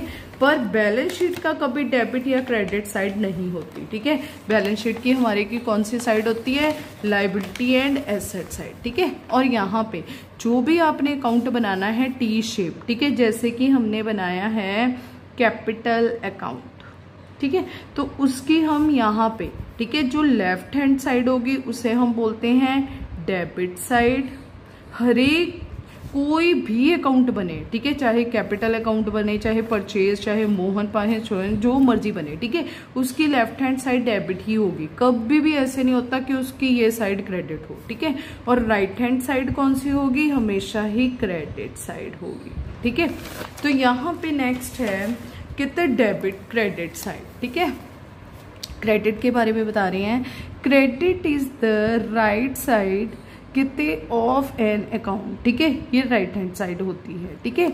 If an account is to credited अगर हमने कोई भी अकाउंट को क्रेडिटेड करना है, ठीक है? वो क्वेश्चन में लिखा होता है then the entry is pass to credit side तो वो एंट्री पास हो जाएगी क्रेडिट साइड ठीक है? ये हमें लेजर में समझ आ जाएगी बात। In such an event it is set that the account is credited ठीक है? जैसे वो क्रेडिट साइड आएगी, हम क्या बोलेंगे कि उस पर्सन का, या फिर उस चीज़ का, ठीक है गुड्स का, या फिर कोई भी एक्सपेंस का, ठीक है कौन सा साइड हो गया क्रेडिट साइड हो गया, ठीक है? It has been derived from the Italian word credito ठीक है? ये किससे बना हुआ है? क्रेडिटियो से बना है, ठीक है? नेक्स्ट है डेबिट ठीक है? डेबिट का भी वैसे ही है, ठीक है? ये टू पार्ट्स होते हैं डेबिट और क्रेडिट ठीक है? लेफ़्ट हैंड साइड को हम कौन सी साइड बोलते हैं? डेबिट साइड ठीक है? और जो भी अकाउंट ट्रांसफ़र होगा डेबिट साइड उसको हम क्या बोलते हैं? डेबिट ठीक है? ये भी इटेलियन वर्ड से ही बना है डेबिटो से, ठीक है? नेक्स्ट है डेप्रिसिएशन ठीक है? मोस्ट इंपॉर्टेंट है बार बार आएगी आपके पास ट्रांस ये डेबिट नेक्स्ट है depreciation depreciation is fall in the value of asset ठीक है? ये आपके एसेट देखो गुड्स जो होते हैं, वो तो जैसे आते हैं, हम वैसे ही उनको क्या कर देते हैं? बेच देते हैं। ठीक है? हम उनको कभी भी यूज़ नहीं करते। अगर यूज़ नहीं करते तो वो कभी उसकी वैल्यू भी नहीं फॉल होती। ठीक है? पर जो एसेट है, उसको तो हम टोटली यूज़ करते हैं। बार बार यूज़ करते हैं उसे। ठीक है? जैसे कि हमारी बिल्डिंग होगी मशीनरी हो गई फर्नीचर हो गया। ठीक है? तो उनकी वैल्यू यूज़ करने से क्या हो जाती है, घट जाती है फॉल हो जाती है, ठीक है? Because of the uses and with efflux of time ठीक है? ये ज़रूरी नहीं है कि ये यूज़ करने से ही कम होती है, ठीक है? टाइम के चेंज होने से भी, ठीक है? किसी भी एसेट की वैल्यू क्या हो जाती है? गिर जाती है, ठीक है? जैसे आउटडेटेड हो जाता है, ठीक है ना? कोई भी सामान, ठीक है? तब भी हम क्या बोलेंगे कि वो डेप्रिसिएट हो गया, ठीक है? और एब्सुलेंस और एक्सीडेंट ठीक है? या फिर एक्सीडेंट हो जाता है, जैसे कि कोई नई गाड़ी है, ठीक है? अभी नई ही थी, ठीक है? पहले दिन ही चला रही है एक्सीडेंट हो गया तो उसकी वैल्यू क्या हो जाएगी? फॉल हो जाएगी, ठीक है? Next it is an allocation of cost ठीक है? जस्ट हम कॉस्ट को एलोकेट करते हैं। एलोकेट का मतलब क्या होता है? उसकी हम वैल्यूएशन करते हैं, ठीक है? हम एग्जैक्टली exactly नहीं बता सकते कभी भी डेप्रिसिएशन को कि हाँ भाई, इतनी ही डेप्रिसिएशन हुई है, ठीक है? जस्ट हम उसकी वैल्यूएशन करते हैं। वैल्यूएशन का मतलब क्या होता है? जो हर एक पर्सन के पॉइंट ऑफ़ व्यू से डिफरेंट होगी, ठीक है? कोई तो उसी चीज़ की वैल्यू बताएगा कि ये दस परसेंट फॉल हुई है कोई उसी चीज़ की वैल्यू बताएगा, पाँच परसेंट फॉल हुई है, ठीक है? जैसे कि आप अपनी सेकेंड हैंड चीज़ बेचने के लिए जाते हो, ठीक है? तो आपको भी एग्जैक्टली पता नहीं होता कि इसके दाम हमें कितने मिलने वाले हैं, ठीक है? फिर भी आप एस्टिमेशन सा लगा के कह देते हो, चलो, मैं अपना सामान इतने का बेचना चाहता हूँ। वो सामने वाला बताता है, फिर नहीं, मैं तो इतने का खरीदूँगा। ठीक है? तो उसकी एलोकेशन की जाती है कॉस्ट की, ठीक है? और fixed asset in each accounting year ठीक है? जो हम कैसे करते हैं? हर एक साल करते हैं during its expected useful life ठीक है, जो किसको देख के की जाती है, उसकी एक्सपेक्टेड ठीक है एग्जैक्ट नहीं उसकी सिर्फ़ एक्सपेक्टेड यूजफुल लाइफ को देख के, ठीक है? हम ये सोचते हैं कि हमारा ये जो एसेट है, ये इतने साल तक क्या हो जाएगा? चलता रहेगा, जिसके अकॉर्डिंग टू हम उसकी क्या निकाल देते हैं? डेप्रिसिएशन निकाल देते हैं, ठीक है? अब देखो, जैसे कि एक, मान लो कि आपने ना एक मोबाइल खरीदा ठीक है? मैंने एक मोबाइल खरीदा। और ना वो जो मेरा मोबाइल है, ठीक है? वो जो उसकी कॉस्ट है, वो मैंने अब चलो, मैंने डेप्रिसिएशन निकालनी है मान लो। डेप्रिसिएशन ऑन मोबाइल के ऊपर मैंने डेप्रिसिएशन निकालनी है अपनी। तो हम कैसे निकालेंगे? जैसे कि मैंने मोबाइल खरीदा। कितने का खरीदा है मैंने? दस हज़ार रुपये का मोबाइल खरीदा, ठीक है? और मैं ना जस्ट एस्टिमेशन लेके चल रही हूँ कि ये मेरा मोबाइल जो है, ये दस साल तक तो कहीं नहीं गया। ठीक है, हम जस्ट एस्टिमेट लेके करते हैं कि चलो 10 साल तक ये मेरा मोबाइल जो है, ये चलता रहेगा, ठीक है? और ये जो मेरा मोबाइल है, ठीक है, और जब ये 10 साल बाद बिकेगा तो मैं सोच रही हूँ कितने का बिकेगा? सिर्फ़ दो हज़ार रुपये का बिकेगा, ठीक है? देखो, यहाँ पे क्या होता है उसकी कॉस्ट ऑफ़ जो भी आपका एसेट है, हमारा एसेट क्या था? मोबाइल ठीक है? हमने उसकी कॉस्ट लगा ली। यहाँ पे क्या होता है? एस्टिमेटेड स्क्रैप वैल्यू ठीक है? जो at the end of the time after ten years मेरे क्या होएगा? बिकेगा स्क्रैप में जाएगा। और एस्टिमेटेड यूजफुल लाइफ ठीक है? ये एस्टिमेटेड यूजफुल लाइफ है। अब देखो इसकी डेप्रिसिएशन निकाल। लो कितनी आएगी? आठ हज़ार बाई टेन कितनी आ गई? आठ सौ रुपया। तो इट मीन्स हर साल मैं इसे ठीक है कितने का रिड्यूस कर रही हूँ? आठ सौ रुपये का। मेरी जो डेप्रिसिएशन है, वो कितने की है? आठ सौ रुपये की। ठीक है? मेरा जो मोबाइल है, वो हर साल आठ सौ रुपये का घस रहा है। ठीक है? फॉल हो रही है, उसकी वैल्यू कितनी? एट हंड्रेड की। ठीक है? तो यहाँ पे हमने क्या निकाल दिया? डेप्रिसिएशन निकाल दिया। ठीक है? ये जस्ट मैंने क्या किया है? वैल्यूएशन किया है, ठीक है? जो कुछ लोग इसे आठ साल बोलेंगे, कुछ दो साल ही बोलेंगे, कोई एक साल ही बोलेगा, ठीक है? सबकी अपनी अपनी एस्टिमेशन होंगे, ठीक है? नेक्स्ट है एंटिटी ठीक है? एंटिटी का मतलब क्या होता है? Identity an entity means an economic unit ठीक है एंटिटी का मतलब होता है कोई इकोनॉमिक यूनिट इकोनॉमिक का मतलब जो पैसे कमाने के लिए खोला गया है। ठीक है विच परफॉर्म इकोनॉमिक एक्टिविटीज़ जिसमें पैसे कमाने के लिए कोई भी एक्टिविटीज़ की जा रही हैं। ठीक है, जैसे कि रिलायंस इंडस्ट्रीज़ है बजाज ऑटो है मारुति है टिस्को है। ठीक है अब business entity means an enterprise establish in accordance with law to engage in business activities ठीक है तो बिज़नेस एंटिटी कौन सी होगी? जो लॉ के अकॉर्डिंग टू ठीक है ना? किस चीज़ के लिए इंगेज है? बिज़नेस की एक्टिविटीज़ के लिए, ठीक है? बिज़नेस की एक्टिविटीज़ हमने फीचर पढ़े थे इसके, ठीक है? तो these include property proprietorship forms ठीक है? इसमें प्रोपराइटरशिप फॉर्म प्रोपराइटरशिप फॉर्म का मतलब एक ही पर्सन चलाता है, वो भी आ जाती हैं पार्टनरशिप भी आ जाती हैं कॉरपोरेशन कंपनी सारी ही आ जाती हैं, ठीक है? And accounting system is always devised for the specific business entity ठीक है? कार्ड अकाउंटिंग एंटिटीज ठीक है? तो यहाँ पे हम इन सभी के केसेस में क्या बनाते हैं? अकाउंट्स बनाते हैं, पर हर एक का अकाउंट उसकी आइडेंटिटी के अकॉर्डिंग टू ही बनता है ठीक है? किसी का अकाउंट जो है किसी का अकाउंट जो बनता है वो फुली लीगल रिक्वायरमेंट्स के अकॉर्डिंग टू बनता है ठीक है? जैसे कि कॉरपोरेशन कंपनीज़ का अकाउंट बनता है ठीक है? ये जो प्रोपराइटरशिप और पार्टनरशिप फर्म होती है क्योंकि इनकी रजिस्ट्रेशन कंपलसरी नहीं होती ठीक है? तो इनका जो अकाउंट होता है ठीक है ना? वो इत, उसमें लीगल फॉर्मेलिटीज़ की इतनी ज़रूरत नहीं होती ठीक है? नेक्स्ट उसके बाद है एंट्री ठीक है? एंट्री का मतलब एंटर करना किसी भी चीज़ को, ठीक है? अब कहते अ ट्रांजैक्शन और इवेंट ठीक है? ये दो तरह से आपके पास बात आती है। एक होती है ट्रांजेक्शन एक होते हैं इवेंट्स ठीक है? ट्रांजेक्शन का मतलब क्या होता है? लेन देन करना, ठीक है? जब आप कोई भी पैसे का लेन देन करते हो, ठीक है? जैसे कि गुड्स को खरीदा तो हमने खरीदा गुड्स को बेचा, हमने बेचा, ठीक है? इनको क्या बोलते हैं हम? ट्रांजेक्शन ठीक है?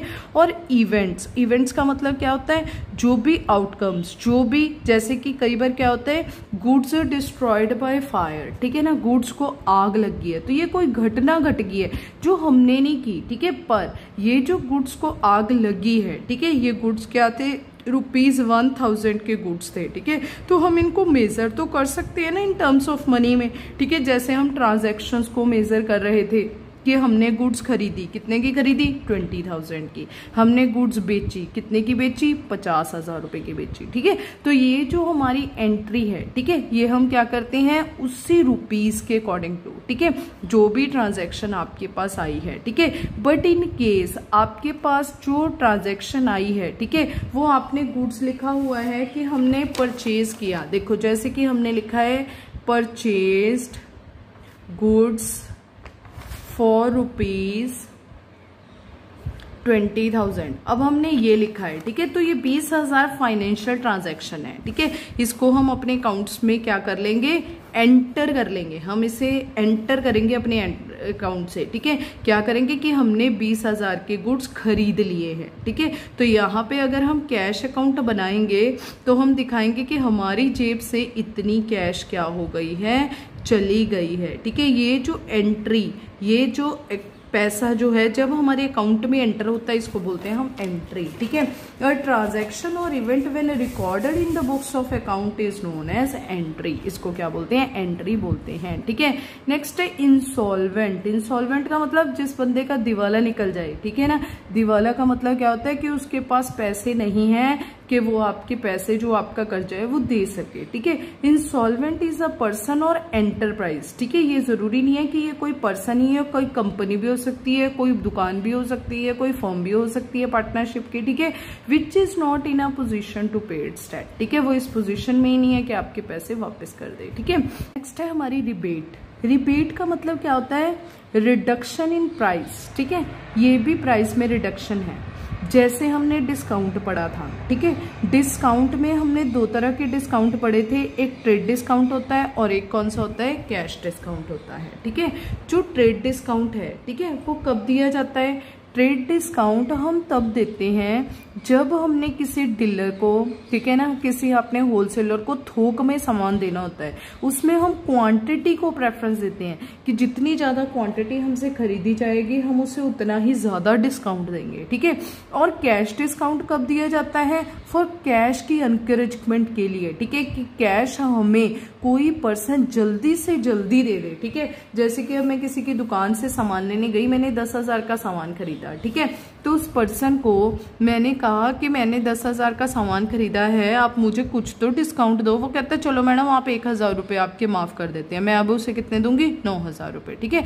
तो अब जो आपने उससे टाइम उसे कैश दे देती है। ठीक है? तो कैश देते हुए वो पर्सन क्या करेगा? आपको वन थाउज़ेंड का क्या दे देगा? डिस्काउंट दे देगा। ठीक है?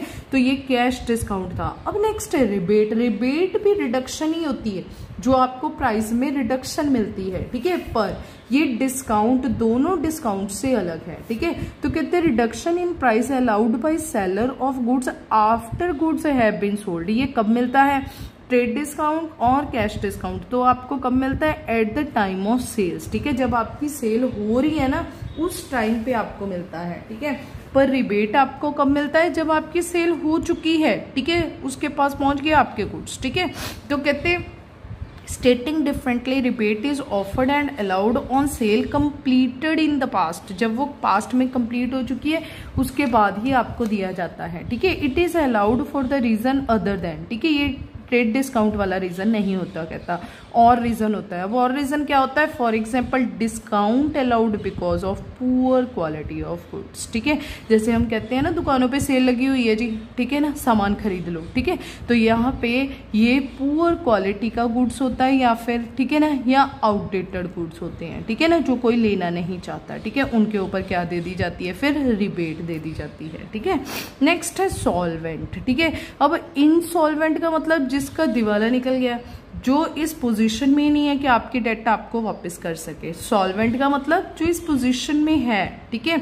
सॉल्वेंट इज़ अ पर्सन और enterprise which is in a position to pay its debt ठीक है? वो इस पोजीशन में है कि आपके डेट वो आपको वापस कर दे, ठीक है? अब ये आपकी सारी टर्म्स कंप्लीट हो गई हैं। Thank you very much